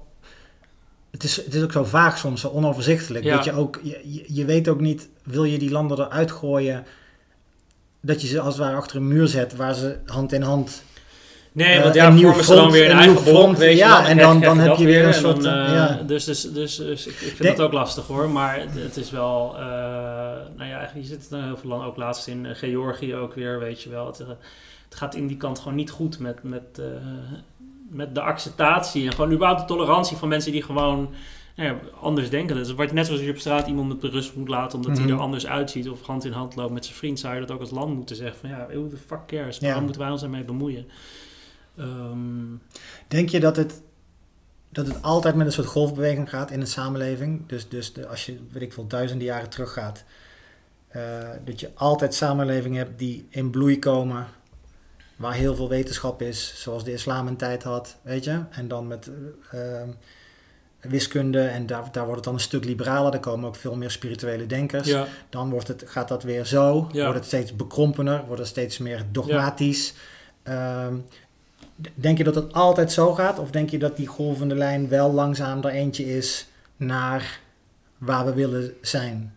Uh, ik zou willen dat het, dat, het, dat het, ik geloof inderdaad dat het in golven gaat. En je ziet het ook weer in Nederland met, uh, nou ja, toch echt wel gewoon steeds explicieter racisme. Uh, ja, heb je dat idee dat dat, nou, dat, weet je, ik, erger wordt? Ik, ja, hoe zou ik dat nou zeggen? Een Nederlandse land vol waar, met mensen die allemaal denken dat ze geen racistische denkbeelden hebben. Mhm. Uh, maar uh, ik probeer ook om die reden zoveel mogelijk weg te blijven van Twitter. Omdat dat gewoon zo je confronteert met ongelooflijk nare denkbeelden van Nederlanders. Ja. Um, maar, uh, dus ik denk dat dat heel erg in golven gaat. En ik denk dat daar hopelijk ook op een gegeven moment weer een stijgende lijn omhoog zit. Ben ik heel optimistisch over de toekomst van de mensheid in zijn geheel? Nee, maar dat is gewoon dat ik niet een heel, uh, heel optimistisch persoon ben. Nee, niet, want nou, dat, dat, zou ik helemaal niet van jou denken. Ja, dat denken mensen altijd ook een beetje een soort van vrolijker gevat ben en ja. gezellig ben. Maar ik, uh, ik heb weinig vertrouwen in de toekomst van de mensheid op allerlei vlakken hoor. Ook met inderdaad hoe we nu, welke lessen we nu leren mm -hmm. uit de coronacrisis, namelijk geen. Uh, het, het, voelt dat, voelt dat, hoe, hoe voelt dat voor jou? Is dat, want ik heb dat ook vaak wel hoor, is dat een soort, een soort achtergrondruis van angst of zo? Mhm. Mm. En die er altijd ja. is? Ja, dat, dat je denkt... ook wel, ja, ja. En dat, uh, ik merk dus ook inderdaad dat deze week een beetje moe en gestrest ben. Dat ik gewoon alles wat, min, wat, uh, uh, ja, wat minder rooskleurig inzie. Dus inderdaad dan ook elk nieuwsfeit dat wat er dan weer boven komt. Dan denk je, oh ja, ja zie je wel, dit is inderdaad de kant waar we op gaan. Ja, alsof je wordt bevestigd in... Bevestigd in hoe kut de mens is. Ja. Um, dus dus dat, dat heb ik zeker wel. Ik ben wel... Ik ben wel inderdaad gewoon in, in, in denk ik wel, in mijn, in mijn persoonlijke leven best wel gewoon een Mm leuk, optimistisch mens. En ik probeer er juist altijd het beste van te maken en het meeste uit het leven te halen. Maar ja, maar het is ook juist inderdaad door veel te gaan schrijven over alles wat er misgaat, alle misstanden. Uh, moet je inderdaad ook soms wel... Daar steeds induiken. Ja, daar steeds induiken. En dan word je niet per se een heel optimistisch persoon van. Maar moet je niet sowieso... Heb je nog Twitter of niet? Uh, ja, maar ik gebruik het eigenlijk niet. Nee, want dus dat, ik post dat is er, toch ik wel... post er af en toe mijn stukjes post ik op, maar zelfs ook... Uh, um, Nou, ik, had bijvoorbeeld, ik, ik heb ook een, eh, een interviewserie in de Volkskrant met LHBTI'ers. Uh, gewoon alledaagse LHBTI'ers, maar wel met een bijzonder verhaal. Er was één jongen en die is, uh, was... Zijn vader was Gambiaans en zijn moeder Brits. En die ja, was heel is jong, 18. Dus geen jongen trouwens, een non-binair iemand trouwens, moet ik zeggen. Uh, die heel erg, ja, die zwarte identiteit aan het ontdekken is. Mm -hmm. En zei van ja, ik heb, ik heb het meeste met mijn zwarte vrienden, die begrijpen me echt. Nou ja, dat, als je dat als kop deelt, op quote deelt op Twitter, nou, daar zitten dan honderden haatreacties ja. onder. Uh, In de plaats van in plaats van kijken, oh, waar komt, waar komt dat vandaan? Ja, precies. Je hoeft, het er niet, je, je hoeft het niet altijd aan te moedigen of te denken, hé, hey, dit gaat de goede kant ja. op. Want, want ik vind dat die woke linkse kant ook echt hele lelijke, Absoluut, lelijke trekjes zit ook heeft. En we zien het ook maar, met het gezeik met bijeen afgelopen precies. week. Dat is ook een puinhoop. Dus, uh, dus je moet inderdaad allebei die kanten, inderdaad niet met, met haat of met, oh, je is alleen, dus ook racisme, want hij wil alleen maar met zwarte mensen omgaan. Maar dat je inderdaad gewoon, zoals jij doet, gewoon zo'n gesprek. Ja, lees het artikel. En als je dan ziet wat die, wat die persoon al ja, op zijn achttiende al allemaal heeft meegemaakt, ja. dan snap je wel waar het vandaan komt. Um, dus nee, Twitter probeer ik om die reden een beetje van weg te blijven. Uh, ja, dat is echt sowieso niet goed sociale media, het fuckt echt wel zo vaak met je hoofd ook. Uh, ook Instagram vind ik ook eigenlijk dat ook. Echt hè? Uh, en weet je, ik had, ja, waarom ze, dan volg je, wat is het, 2000 mensen op Instagram. Toen dacht ik ook van de week, van, ja, maar volg al die mensen. Ik heb er een paar honderd uitgegooid. Ja. Ja, waarom moet ik eigenlijk de hele dag bezig zijn met wat jij doet? En alleen al dat Terwijl we elkaar het echt niet eens gedag zeggen. Of Nee. dat je niet eens geïnteresseerd bent in, in mij of mijn werk of whatever. Maar we volgen elkaar, ja, why, weet je wel? Ik denk ook dat het zo niet goed is voor, voor je brein. Dat we toch echt onderschatten ook dat wij een, een, een diersoort zijn, laten we het zo maar noemen. Die, die gewoon honderdduizenden jaren uh, die, mogelijkheid niet hadden om elkaar op die manier binnenshuis te zien Nee. en te weten wat voor successen anderen hebben. Dan was het gewoon jij, je buurman, misschien het volgende dorp. Ja. En uh, je was veel bezig, vaak fysiek. En ik denk echt dat we dat zo onderschatten hoe kwalijk het is voor je psych om de hele tijd in al die levens te zitten en al die meningen. Ja, nou, en als je het net ook hebt over die stemmetjes die je misschien kunnen veroordelen of zeggen van oh je bent stom of... Uh, Ja, die zitten daar allemaal die, in. die zitten er allemaal, die, daar confronteer je jezelf eigenlijk heel erg mee, weet je wel. En dan juist als je dus even wat minder sterk in je schoenen staat of zo, door stress of moeheid of door alles wat er in de wereld Verschrikkelijk. gebeurt, dan eh, moedig je het eigenlijk zelf aan. Toen ik nog Twitter had, en dat is echt een van de redenen dat ik het ook heb, uh, die account heb, heb opgegeven. Dus ik kon dan, ja, hij is nog steeds bezig, hè, die bij. Straks is hij uitge- gezellig. Maar Straks is hij uitgeput. Dan voer ik hem wel het is ook gewoon meer een wesp volgens mij. Ja? Ja, wesp. Zo'n lange, lange Oh, dan zijn ze er al. Oh ja, dat is de eerste die ik zie dit seizoen. Die denkt, kijk, je hebt een hele, ja, voor de kijker thuis, je hebt een hele mooie soort van dakkapelletje of uh, Ja. open dakraampje. Dat is het glazen plafond. Die, die denkt van, nou, ik kan hier ooit wel uitkomen, maar dat gaat dus niet gebeuren. Nee, dan zie je wel hoe dom ze zijn. Gewoon blijven Zeker, proberen. ja. Blijven. Ja, Hè? Ehm, eh, dat ik dan echt met, met Twitter, ehm, als ik in zo'n kwetsbare bij was inderdaad, en iemand zei iets kwetsend of, of uh, zei ik die af of zo, dat ik daar dan echt mee in mijn buik zat. En dat Ja. je denkt, huh, ik laat dus gewoon mijn dagelijks leven Ja. Daardoor bepalen. En het is niet eens een goede vriend die iets tegen me zegt, Nee, dat, gewoon waar ik van random- schrik. random. Maar de reactie, het gevoel in je buik is Ja, bijna hetzelfde. Ja, ja, ja. ja, je kan echt een soort van... eh, ja, het is gewoon een soort van opgefoktheid. En eh, ik probeer dat dus een beetje nu eh, tegen te gaan. Maar ja, dat, dat lukt niet altijd. Maar dan vind ik het des Maar ik ben ook een beetje gewoon een, een, een, een up- nou, niet uptight person, maar... ik had toevallig net een... Ik, moest net een, ik heb net een essay geschreven voor een eh, bundel die uitkomt. Dat gaat heel erg over computer games. Mhm. En toen, eh, daar was ik voor gevraagd en ik heb een essay geschreven over SimCity, weet je wel, dat spel. Ken ik, ja. Eh, en dat ik dat als tiener al heel erg speelde, omdat ik eigenlijk al altijd heel erg behoefte heb gehad, een soort van orde en overzicht. En ik heb ook behoorlijk Oh, wat wauw. neurotische trekken. Dus ik ben... En dat was een manier om, om, om gewoon een beetje alles van te ordenen. controle, ja, controle te hebben over het leven. Dus eigenlijk toen al als tiener had ik dat al. Eigenlijk vanaf kinds af aan heb ik dat al. Dus ik ben heel erg iemand die altijd heel erg behoefte heeft aan structuur en orde en overzicht. Dus inderdaad, op het moment dat dingen me een beetje van mijn stuk afbrengen, dan word ik gelijk ook een beetje onrustig. Dan zoek Hmm. ik naar controle, orde, overzicht. En, eh, dus ik ben en mensen die me, mensen me kennen, die denken, oh ja, hij was zo'n gezellige jongen, weet je wel. En, eh, maar er zit altijd vaak veel onrust onder.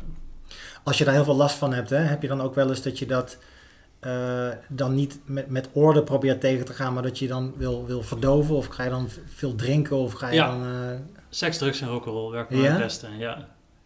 Eh, nee, nee, daar maak ik ook nooit een geheim van. Ja, ik... ik, ik En is dat dan ook een beslissing? Zo van, fuck it, nu ga ik vrijdagavond helemaal ja, los. dat, nou ja, of dat, gebeurt het ondanks jezelf bijna? Nee, nee, dat is juist ook vanuit die, die planningsdrift is, dat vaak, is daar heel goed over nagedacht. Voor corona was het echt van, oké, dan ga ik dan naar dat feest. Ja, En dan ga ik die avond heel veel drugs gebruiken, want ik weet dat ik het hele weekend niks hoef te doen en daarbij van kan komen. Maandagochtend zit ik weer Precies. laptopje te, hè, van En de, dat de dan- agenda hedonist, eh, hè, zoals ze dat altijd noemen. ja. Ehm, en dat is ook wel wat ik nu mis, weet je wel. Dat ik dus merk dat er een soort van heel erg onrust opborrelt. Alleen ik kan er nu geen kant mee op, weet je wel. Ik vond juist hè, uitgaan in een club, ecstasy gebruiken, met allemaal Ja. leuke jongens flirten en een beetje zoenen. En eh, die afleiding, Dat is weg, eh, ja. dat, dat is eigenlijk het enige wat me echt een beetje rustig maakt. Dat, dan ga ik even uit mijn hoofd. Dan kan ik alles even vergeten. Ben ik niet bezig. Maar wel fijn dat je, dat, dat je dus zelfs dat kunt plannen. En dat die planning dan ook werkt. Ja. En dat je dan inderdaad maandag weer Ja. aan het werk bent en je niet rot voelt over jezelf. Nee, daar kan ik echt, echt, echt eh, intens van genieten. Dus, Want ik heb Eh, altijd, ja. ik heb altijd schuldgevoel. Oh ja? Bij mij is het ook nooit, is het heel vaak niet gepland als ik dan ga, ga, ga doordrinken of zo. En dan, Oh ja, ja. Dat zijn meer van die, van die momenten. Dan is het niet zo, oh ik ga naar een club, daar ben ik sowieso niet zo van.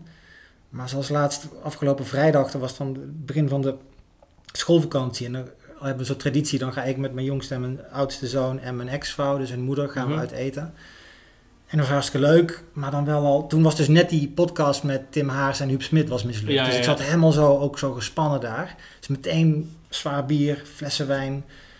En toen vond ik het al gênant dat ze mij best wel dronken zagen. Weet je, dat ik op de Mhm. volgende dag terug hoorde: Papa, jij was echt super raar gisteren. En dan, dan, dan voel ik me al super klein, want dan ben ik en Ja. labiel van die kater. En ook voor je kinderen die dat dan... Ja, en ja. toen, maar toen kwam ik dus daarna nog thuis. En dan heb ik toch een soort duiveltje op mijn schouder. En dan, en dan, dan, dan, dan heb ik dus ineens dat gevoel van: nu mag alles los. Alleen dan ben ik bijvoorbeeld alleen en dan ga ik gewoon whisky zuipen. En dan, Mhm.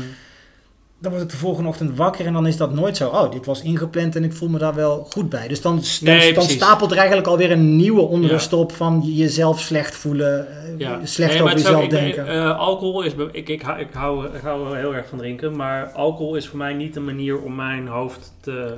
nee, jij voelt dan niet, nee, die rust ineens. Nee, nee, nee, want bij, juist als ik eh, soms veel gedronken kan hebben, of vooral als ik, ik kan van gin tonics, nou als ik een paar gin Lekker. tonics heb, gaat mijn hoofd Zin juist in. de overdrive, weet je wel. Ja. Dus, maar het is, het is gek hoe inderdaad bijvoorbeeld ecstasy of MDMA echt je hoofd zo kan Dat mis ik zo, Er jongen. is ook wel mensen die van... Ik hou bijvoorbeeld niet van blowen of zo, maar dat zal voor andere mensen die van blowen Ja. houden, hè, werkt dat zo. Dat is dan... Ik had al die een dingen soort dus. van even een soort van warme deken over... eh, je voelt het gewoon wegglijden. Ja, en seks is daar ook een goed, goed middel voor. Ja. En heb jij een open relatie met jouw vriend of niet? Nou ja, eh, ja, ja, tenminste, we, hebben daar, we zijn nu negen jaar bij elkaar en we hebben daar wel eh, ja, duidelijke afspraken over. Soms doen we met elkaar dingen met anderen, soms los van elkaar. Toen ik veel reisde, deed ik dat wel eens in het buitenland. En moest je dat Eh. dan vanuit het buitenland Nee, overleggen? we- het is een beetje don't ask, don't tell. Ja, ja, ja. What happens in Siberië stays in Ja, daar hadden we, daar hebben we heus wel duidelijke afspraken over. Ja, in het afgelopen jaar is dat eigenlijk helemaal niet gebeurd natuurlijk. Omdat we gewoon, ja, gewoon gezellig met z'n tweeën waren. En dat is ook wel weer leuk, want dan eh, ja, verdiep je weer je relatie met elkaar op een Ja. hele nieuwe manier. Ik bedoel, ik ben heel blij dat ik afgelopen jaar gewoon een hele leuke vriend had. Met Ja. wie ik het gewoon heel gezellig heb. ja, Ja. precies. Ik zie altijd zulke eh, leuke foto's van jullie twee, hè? maar we zijn ook echt heel happy met elkaar. Ja. We moeten we- we- dagelijkse basis moeten ongelooflijk met elkaar lachen. En, en, en ja, afgelopen jaar merkte ik ook met heel veel vrienden en vriendinnen die single waren, die er echt Ja, joh. aan onderdoor gingen. Ik had er ook En, last eh, van. ja, ik weet niet hoe dat voor jou was. Maar... Ja, ook ik had er ook last van. Alleen ik heb dan, ik heb dan wel af en toe zo'n uitspatting gehad met iemand. Ja. One night stands of een date. En Ja, dat, ja. Maar dat is, dat, dat is weer een beetje hetzelfde wat ik net zei. Dat gaat altijd gepaard. Oh, even kijken wie, Ja. dat, wie dat is. Dit mag gewoon in deze podcast, hè? Dan kan gewoon, Absoluut. Dan kan gewoon die bel gaan. Jongen, ik ben een podcast aan het opnemen, jongen. Ron komt hier, Ron, Tom. Hier, neem maar mee. Ja, Fotograferer me mee. ik, ik ook voor jou. hè? Maak Een er wel. video oppakken. Ja. In de uitzending. Maak niks uit. Dit- Dan boven jullie. Ja, ja, air, on air.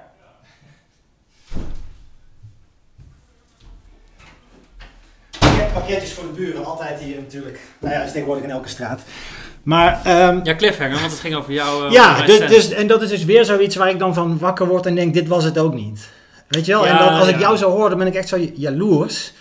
Van, want ik zou dat ook zo graag willen. Alleen, alleen al bijvoorbeeld zoiets als MDMA, wat ik sinds mijn puberteit eigenlijk niet meer kan. Omdat Mhm. ik op een gegeven moment zoveel drugs al heel jong gebruikte. Ja. Dat dat allemaal een soort van psychotische symptomen triggert. Eh, wiet hetzelfde. Maar als ik...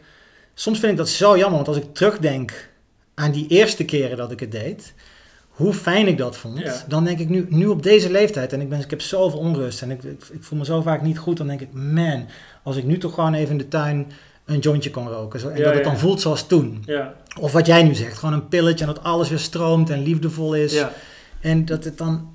Ik baal er gewoon van dat ik altijd zo'n rekening daarna krijg. Met hier. En nu, ja, maar, en nu oh, betaal maar ik. dat is ook zo hoor. Ik bedoel, ik ben 38, dus... eh, en de afgelopen jaar, ja, we konden nergens heen, maar we hadden dan wel af en toe een klein huisfeestje met vier, vijf vrienden. En dan gebruik ik zo'n pilletje en dan ben je heel happy met elkaar. Maar ik bedoel, ik moet daar wel echt een paar dagen nu van bij komen. Ja, Dus is dan- die, heb je wel die heb dip? je zeker wel die dip. Dus het is, je betaalt er ook wel een prijs voor. Alleen het is wel, die avond denk je even echt nergens anders aan. Dus ik wil ook niet zo Ja. gaan propageren dat dat nou de oplossing is voor iedereen.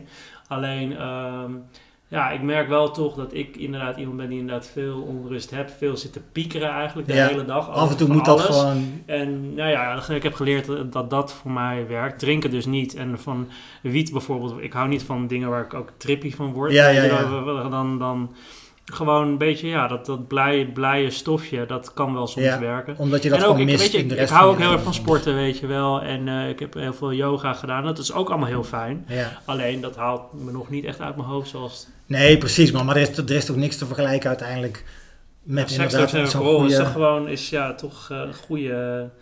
eh, maar het is ook omdat ik dus een hele leuke vriend heb. Dat al die Ja. Dat het is, voor mij is het een beetje en-en. Want ik heb en een hele leuke hebt relatie... Die, Kut Haroon, zie je, nou ben ik dus weer boos op jou. Net, net eerst, vroeger was het om die reizen. ja, precies. Nee, maar, dus, maar, nee, maar dat- ik heb dat echt van veel vrienden en vriendinnen afgelopen jaar gehoord. Het Ja. is gewoon echt best wel kut om single te zijn in deze, deze pandemie. Want ja, dat voelt gewoon best wel vaak eenzaam. En eh, ja, met wie moet je dat dan Ja. delen, weet je wel? Ja. Dat gevoel... eh, oh, Komt hij eraan? nee, je, je, je deken. Oh ja, daar komt hij ook langzaam los. Nou ja. Ehm, Maar denk je dat die relatie tussen jou en je vriend, hè, is, die, is die mede zo goed doordat, doordat jullie dat goed kunnen open? Is dat een... Is dat een Eh, nou, wij zijn gewoon. ehm, en ik praat er ook open over. want Ik maak er dus ook die podcast over seks. En daar vertel ik hier ook gewoon open over. Omdat ik het gewoon belangrijk vind dat we gewoon ook op het gebied van relaties en liefde gewoon daar eerlijker over zijn. Kijk, wij zijn echt stapelgek op elkaar. En we zijn echt nog steeds heel klef en verliefd op elkaar. En dat is we- ongelooflijk we toch? moeten heel erg met elkaar lachen. En, maar wij zijn ook altijd eerlijk naar onze omgeving. Van, of in ieder geval ik. Mijn vriend is wat meer een private person. Dus die praat niet graag over dit soort dingen. Maar die vindt het niet erg dat ik het doe. Mm. Ehm, dat we ook wel willen laten zien van ja, maar het werkt voor ons ook goed. Omdat we, nou bij, bij, bij ons zit het een beetje zo en zo en zo. En ook, eh, ik vind ook niet dat iedereen een open relatie moet hebben. Maar ik vind wel elk, elk stel moet wel gewoon eerlijk naar elkaar zijn over je behoeftes. En wat je, of, ja, wat je wel of niet buiten je relatie doet. Of hoe je je relatie vormgeeft. Is voor Ja. elk stel anders. En ja, Denk je dat het bij... Denk je dat het het- ene stel is het een nachtmerrie om een open relatie te hebben. Ja. Voor andere stel is het een nachtmerrie om volledig monogaam te zijn. Dus ja, Ik zit er altijd Eh. zo tussenin als ik denk aan een, aan een toekomstige relatie. Omdat gewoon op papier is het gewoon het meest logische wat er is. Een open relatie. Want, want je houdt van iemand. En dat vind ik eigenlijk al zo'n zo'n soort van basale eh, gedachtegang. Dat je Mhm. denkt, daar is bijna niks tegen in te brengen. Je houdt van iemand. En op dat moment zeg je dus... Jij mag nu dit en dit niet meer. Mhm. Dat is zo'n, eigenlijk zo'n paradoxaal eh, iets om, om de juiste... te zeggen. Eigenlijk de- degene van wie je houdt, daar moet Ja. je tegen zeggen. Ik hou van jou. ja, Ik wil dat jij alles doet waar jij gelukkig van bent. ja. En het heeft, ik weet gewoon, jaloezie heeft altijd te maken met ego, angst, zelf niet leuk genoeg te vinden. Dus de drang om die relatie gesloten te houden heeft altijd te maken met je eigen angst eigenlijk. Mhm. En, en, en dat vind ik jammer, want ik zou liever niet iemand zijn die zich daardoor laat leiden. Ja. Tegelijkertijd weet ik, als ik iemand echt leuk vind en nou, je hebt dan een open relatie en, en je zit op de bank en zij zegt, nou, ik ga. En ze maakt zich op, of weet ik veel, of misschien maakt ze zich niet op. maar ik snap wat ik bedoel. Ze trekt haar jas aan, ze ziet er leuk uit.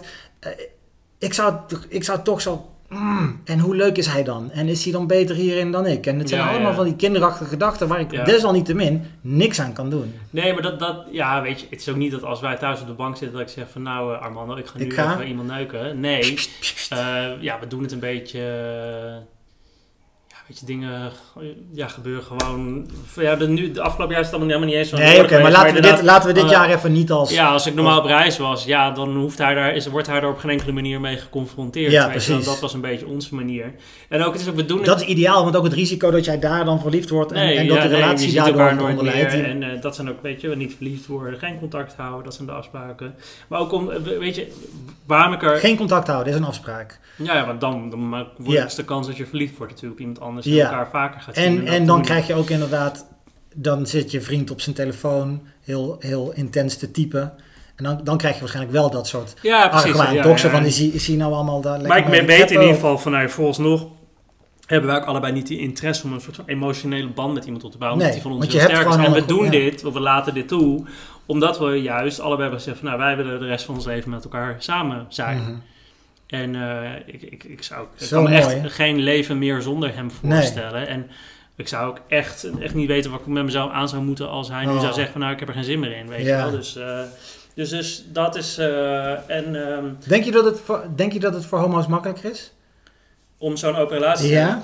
Eh, ja, eigenlijk wel, denk ik. Ik denk dat dat. Het is in ieder geval daar gebeurt het vaker. Ja. Ehm, eh, nou, nou moet ik ook wel zeggen hoor, dat ik ook best wel veel hetero vrienden stellen hebben die ook heus wel eens dingetjes doen. Maar het komt denk ik wel minder en- vaak... Ja, en die zijn er ook misschien wat minder Voor. eerlijk over. Ja. Eh, omdat er toch misschien ook wat meer een taboe op rust. Of, eh, Dat er daar eerder gewoon wordt vreemd, vreemd gegaan. Dat dat het verschil Nee, is. ook maar, dus, ja, maar ja, ja, er wordt... Ja, dat, er, dat er net zoveel ik wordt... denk dat er heel onder, al- als ik vooral kijk onder hetero's, dan wordt, wordt er veel meer, denk ik, echt vreemd gegaan. ja.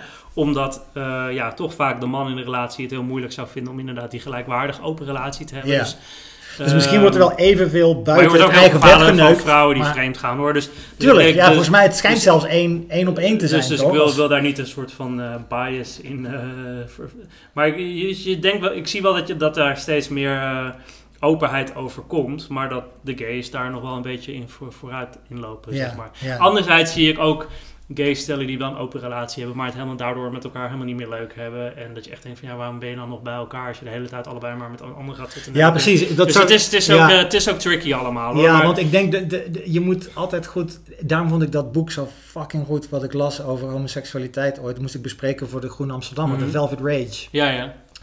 Ehm, dat, dat promiscuïteit eh, eh, kan natuurlijk een, een symptoom zijn van je niet goed voelen over jezelf, ja.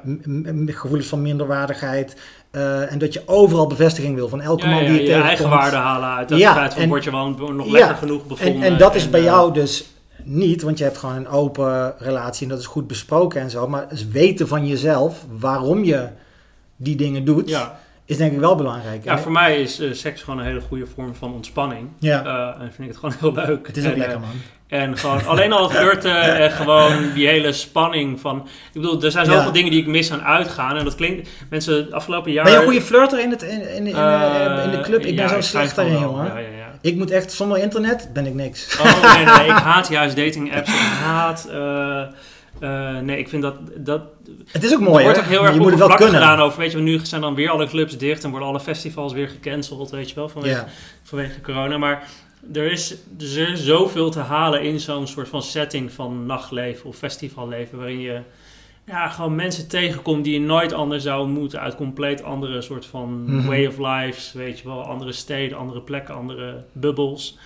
En het, het, eh, al dan niet onder invloed van dingen, een bepaalde connectie met elkaar aangaan en daar weer. Ja. eh, dat, dat, dat levert zoveel. eh, Ik ken dat helemaal goede stofjes op in je hoofd waar je blij van wordt. Ik denk dat daar heel veel mensen, in ieder geval veel mensen in mijn omgeving, die het ook allemaal heel leuk vinden, daar vooral van opgefokt zijn. Dat die release er gewoon niet is, Ja, nergens ja, niet. ja, ja, ja. Ja, je kunt tot 12 uur met elkaar op een terras gaan zitten, maar dat is echt niet is hetzelfde. En, eh, en het belang daarvan, echt gewoon het belang van nachtleven en, en, en gewoon eh, ontmoetingsplekken Ja, het eh, is voor, oud als- voor ons geestelijke welzijn wordt Ja. echt onderschat. Dat denk ik ook. Het is zo oud als de mensheid ook, toch? Ja. De, de Dionysos. Yo, en al die tribal dances die er vroeger waren. En mensen al zo lang Tuurlijk, bestaan, de- de- de Griekse god Dionysos, roesmiddelen. mi- mi- Precies, om, en dat doe je om op een soort van ander, ja, andere denkwijze te komen. Ook op een andere manier contact te maken met mensen. En Absoluut. dat, dat wordt heel erg als oppervlakkig weggezet.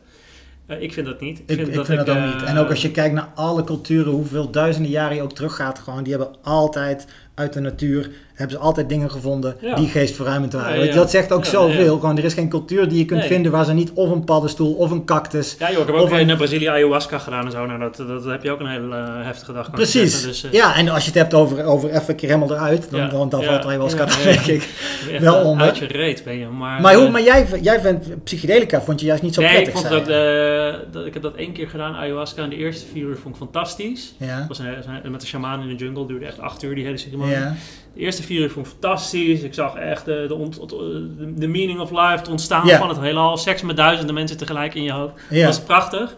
Maar toen had, had je nog een doos genomen en toen draaide ik door. Want toen had ik, dan, dan komt dus die controledrift er weer bij kijken. ja, ja, ja, ja. Eh, kijk, Die je ook en- moet, ja, je moet dat en dan, loslaten, en dan merk ik dat ik gewoon geen grip meer heb op mijn eigen gedachten en dan raak ik in paniek. Ja. En dat was wat er gebeurde. En ik heb ook wel eens Oei, ja. andere weet je, dingen zoals ketamine of zo, daar ga ik ook helemaal niet zo lekker op. Heb ik laatst voor het eerst gedaan, ketamine. Ja. Ja, en ik vind dat, dat, gaat bij mij snel mis. Dus, dus ecstasy en MDMA's vind ik heel leuk, omdat dat, je wordt er alleen maar heel blij van, maar er kan niet echt iets raars gebeuren, tenminste, eh, in principe niet.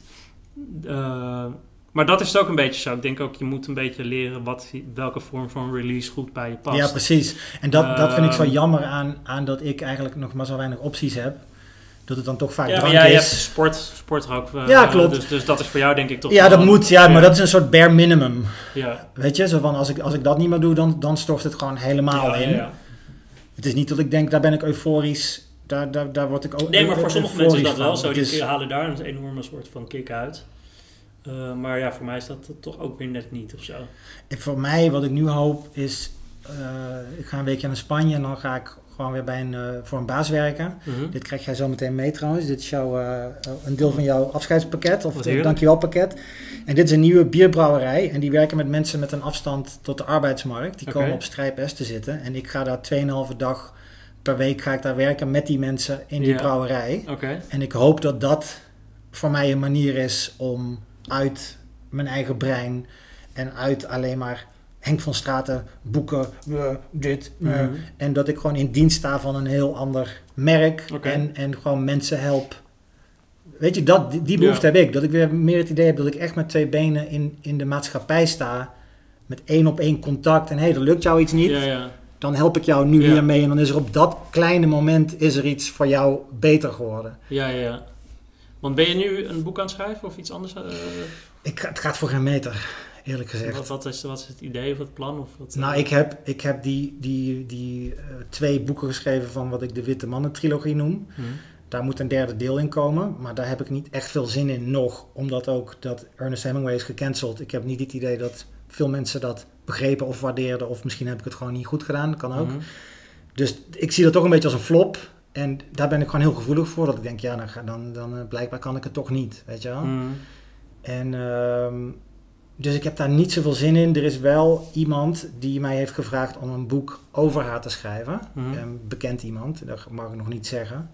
Eh, dat lijkt door te gaan. Ja, En ik denk dat ik dat wel heel fijn zou vinden. Omdat dan, eh, dan is het van weer een soort niet... van eh, memoires, biografie. Ja, een soort van biografie. ja. Dus ik ga dan met heel veel mensen praten om diegene heen. Ja. In plaats van met haarzelf. Ja. En dat is weer ook in dienst van. En ik wil dat wel mooi maken. Ik wil, Mhm. Daar komt wel ambacht bij kijken. Mhm. Weet je, net als dat jij een reisreportage schrijft, daar zit wel.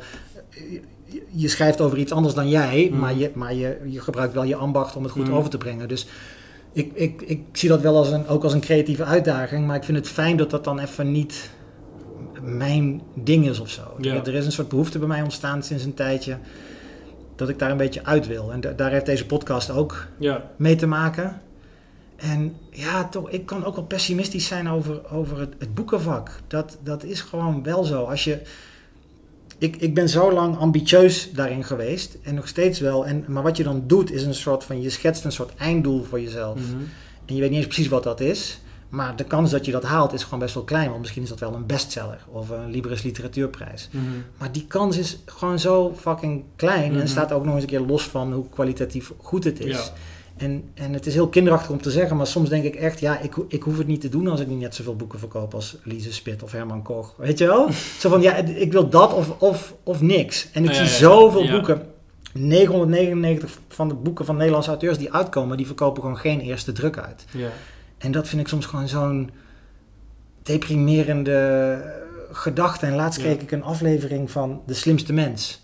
Eh, want daar ga ik waarschijnlijk dan toch maar aan meedoen een keer. Om deze podcast ook te promoten. Dus ik keek een proefaflevering om te kijken of ik een paar vragen wist. Toch? Mhm. Dat je anders je schaamt omdat je niks wist.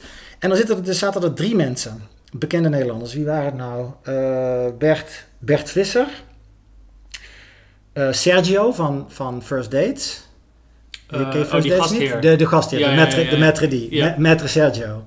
En nog iemand in het midden. Ik ben nu even... Oh ja, Daphne Dekkers. Mhm.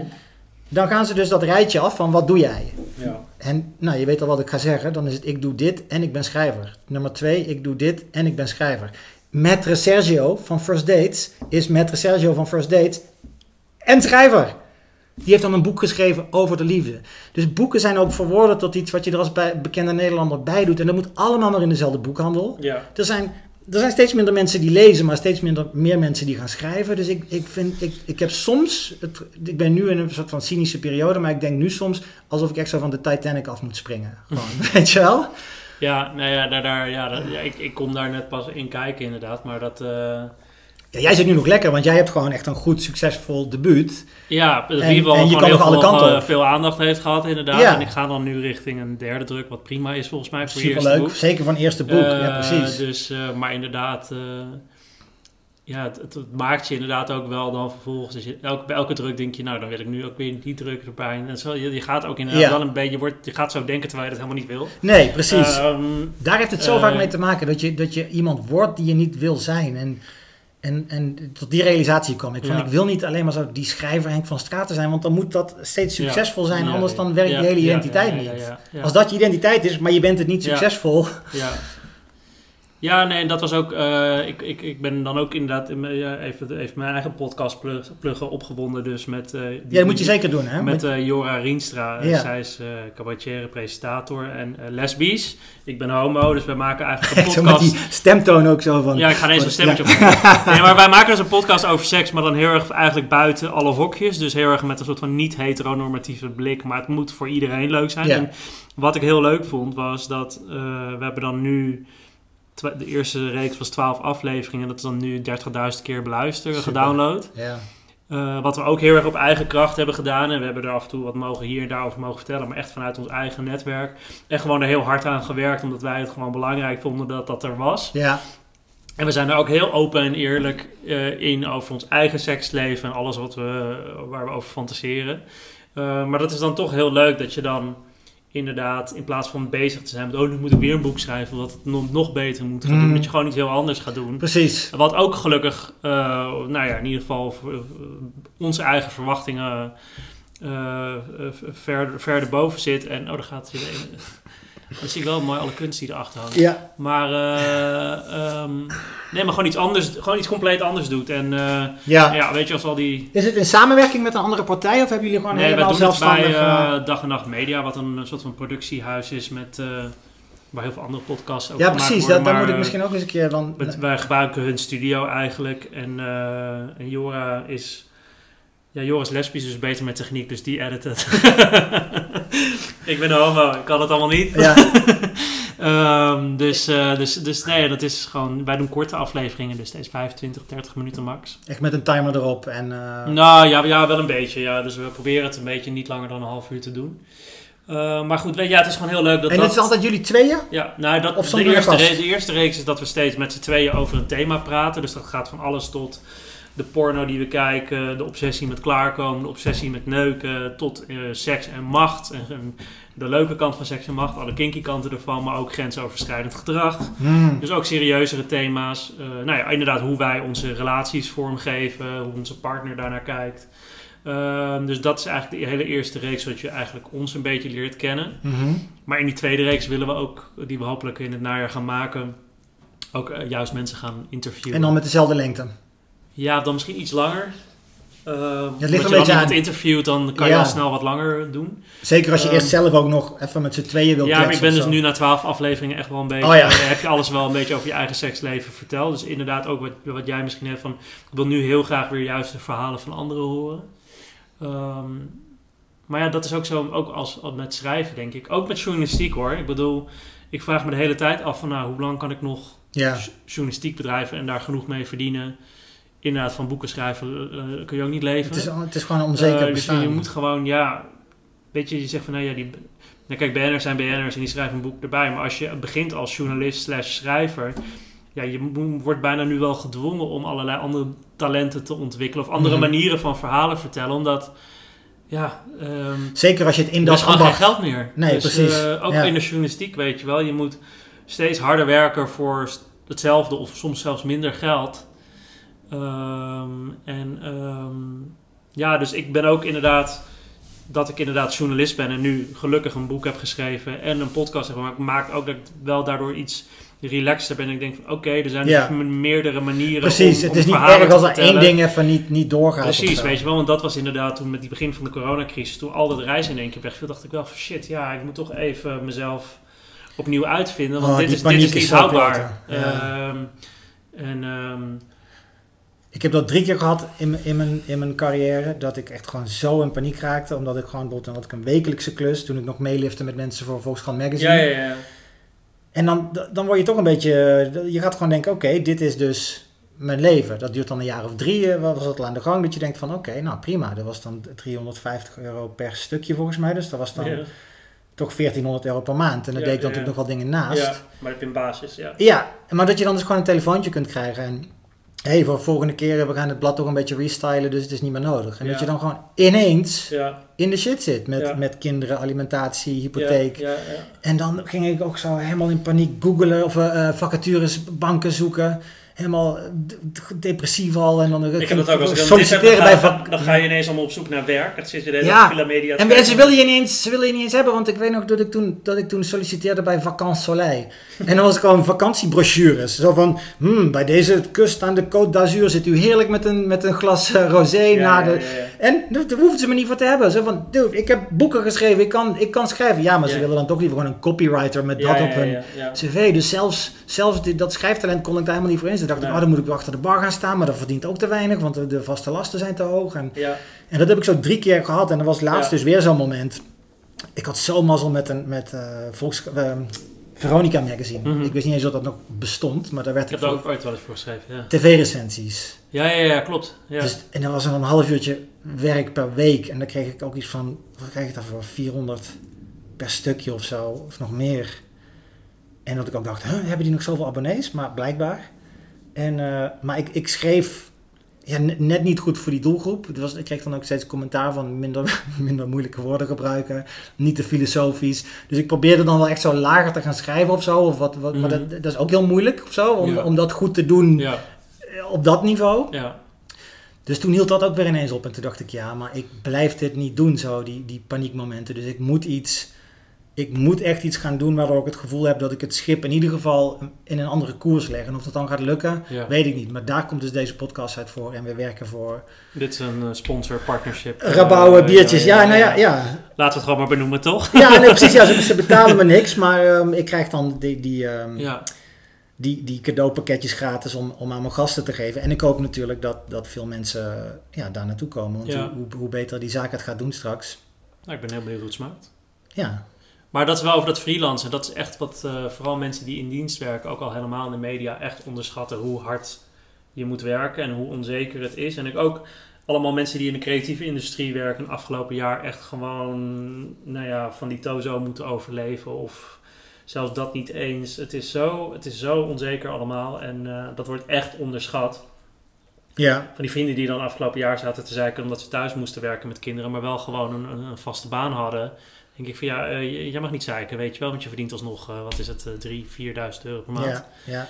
Weet je wel, niet zo piepen over dat, dat, dat, dat kleine... Nee, hoewel die ook, ik kan me ook voorstellen dat als jij, als jij je hele leven hebt ingericht op, je hebt een baan waar je naartoe gaat en daar kun je je ei kwijt, dat is ook deel van je identiteit. Hè? Mhm. En als je dan ineens fulltime bij je, bij je vrouw of je man zit of Ja, ja. veel, dat dat ook wel echt voor Maar je hele hebt in ieder geval een bepaalde zekerheid die wij als Financieel wel. helemaal niet hebben. Ja, En dat wordt Maar misschien gaat je hele huwelijk naar de, naar de, naar is tyfus. Kom je gewoon gescheiden uit zo'n coronacrisis. Nou ja, dat is volgens mij wel veel gebeurd, toch? Mensen Ja. elkaar echt helemaal gek van elkaar werden.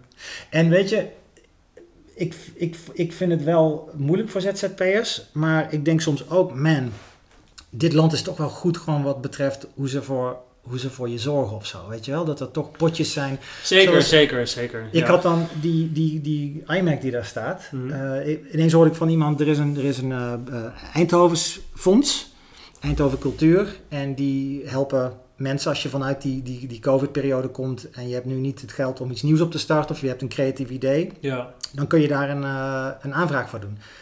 En dat deed ik dus vanwege deze podcast. Ik zei, ik wil heel graag een podcast gaan maken. Daarvoor heb ik nodig een, een computer die, is, Mhm. die, die, die krachtig genoeg is. ja. Eh, een editprogramma, Final Cut Pro. Ja, microfoon. En dat ging zo makkelijk dat ik ook dacht...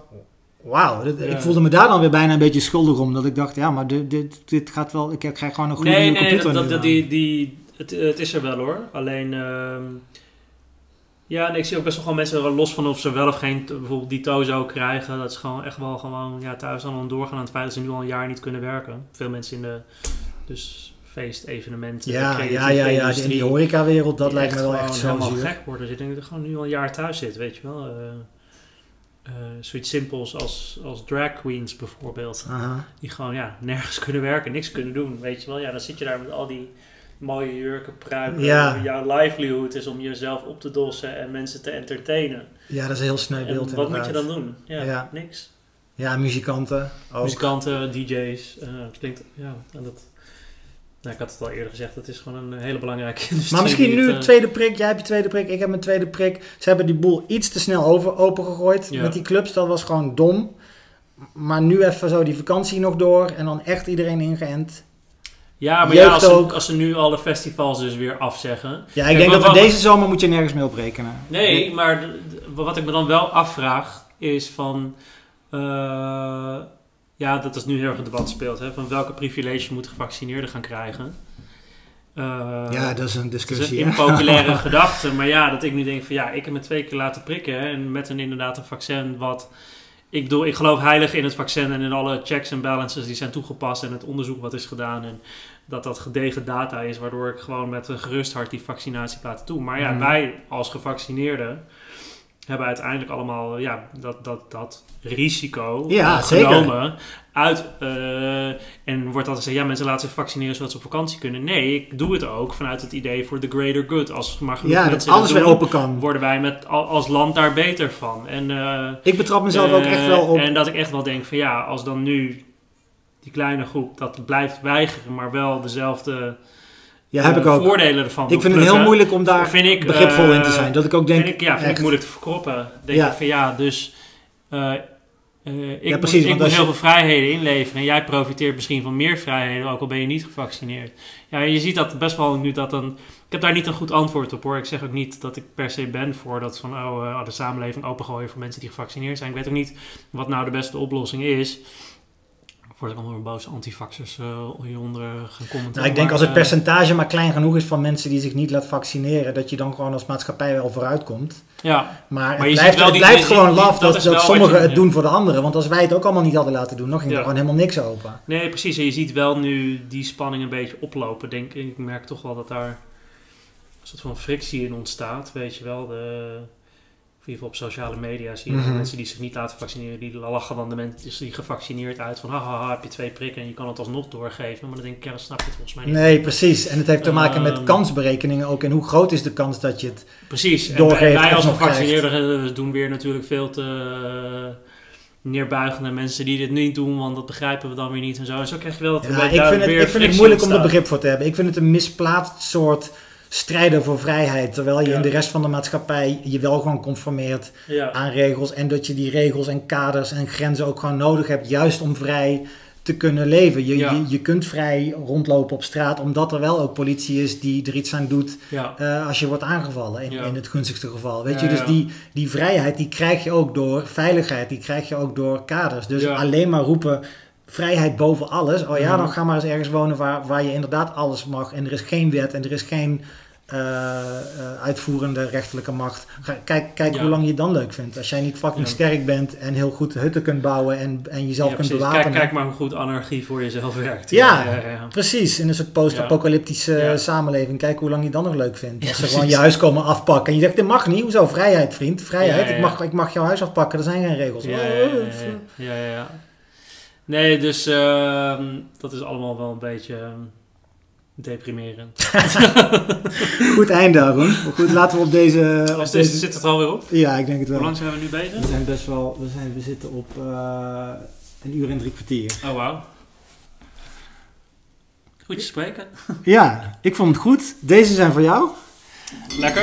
Van Rabauwbier. Ja, ja, ja. En ik heb dus nog iets leuks erbij. Voor jou en je vriend eventueel. Voor als je Ja. nog een keer komt. Ja, Twee gratis kaartjes voor het Philips Museum. nou hartstikke leuk. En iemand, eh Daan Herma van Vos, die komt als, dat is mijn volgende gast, die Oh, zei, ja. Die begon allemaal over, over PSV, van, van hebben ze dan dit shirt van die en die speler? Ik zo, motherfucker, het is het Philips Museum, het, het merk, het elektriciteits- of het apparatenmerk. Niet Philips als sponsor. Nee, dus niet, het gaat helemaal niet over voetbal, Ja. eh, want daar vind ik ook niks aan. Maar het is echt best wel een leuk museum, omdat je gewoon ziet hoe die broers ooit in een soort van schuurtje de eerste gloeilampen in elkaar gingen. ja, zeker. ja, en hoe dat helemaal deze stad eigenlijk om Philips heen groeide. Ja, ik heb vandaag helaas niemand mee, want we zitten nu gewoon op een eh, dinsdagmiddag op te nemen. Dus mensen zijn gewoon aan het werk en zo. Maar dit is zeker leuk eh, om een keer eh, voor terug te komen. Ja, toch? En ze zijn gewoon lang, lang houdbaar, neem ik aan. Oh, vijf jaar na datum. Oké, ja, precies. Dus dat komt goed. Cool. Oké, jongen. Ehm, ik heb geen auto, anders had ik je even naar het station gebracht. Nee joh, het, eh, de, het zou gaan regenen, maar de zon schijnt. Nee, het is goed want Ik weer. ga gewoon weer lekker teruglopen. Maar ik vind het lullig voor jou dat je dan weer zo helemaal Nee, klevend joh. bezweet in de Dit is voor mijn eind, uitje. Uitje en eindje. Oké. Eh, nee, ik vind het hartstikke leuk. Goed zo, jongen. Thanks for having me. Ja, wij mogen high five, want wij zijn eh, Gevaccineerd. gevaccineerd. Eh, c- corona bedoel je? Ja, ja. Ja. Nou, het is weer eens een keer wat anders. Nou, het is weer eens een keer wat anders. Nou, het is weer eens een keer wat anders. Nou, nou, nou, nou. Het is weer eens een keer wat anders. Het is weer eens een keer wat anders. Het is weer eens een keer wat anders. Nou, nou, nou, nou. Het is weer eens een keer wat anders. Ik denk dat we niet. Wat anders? Wat anders? Ja. Ja. Wat anders?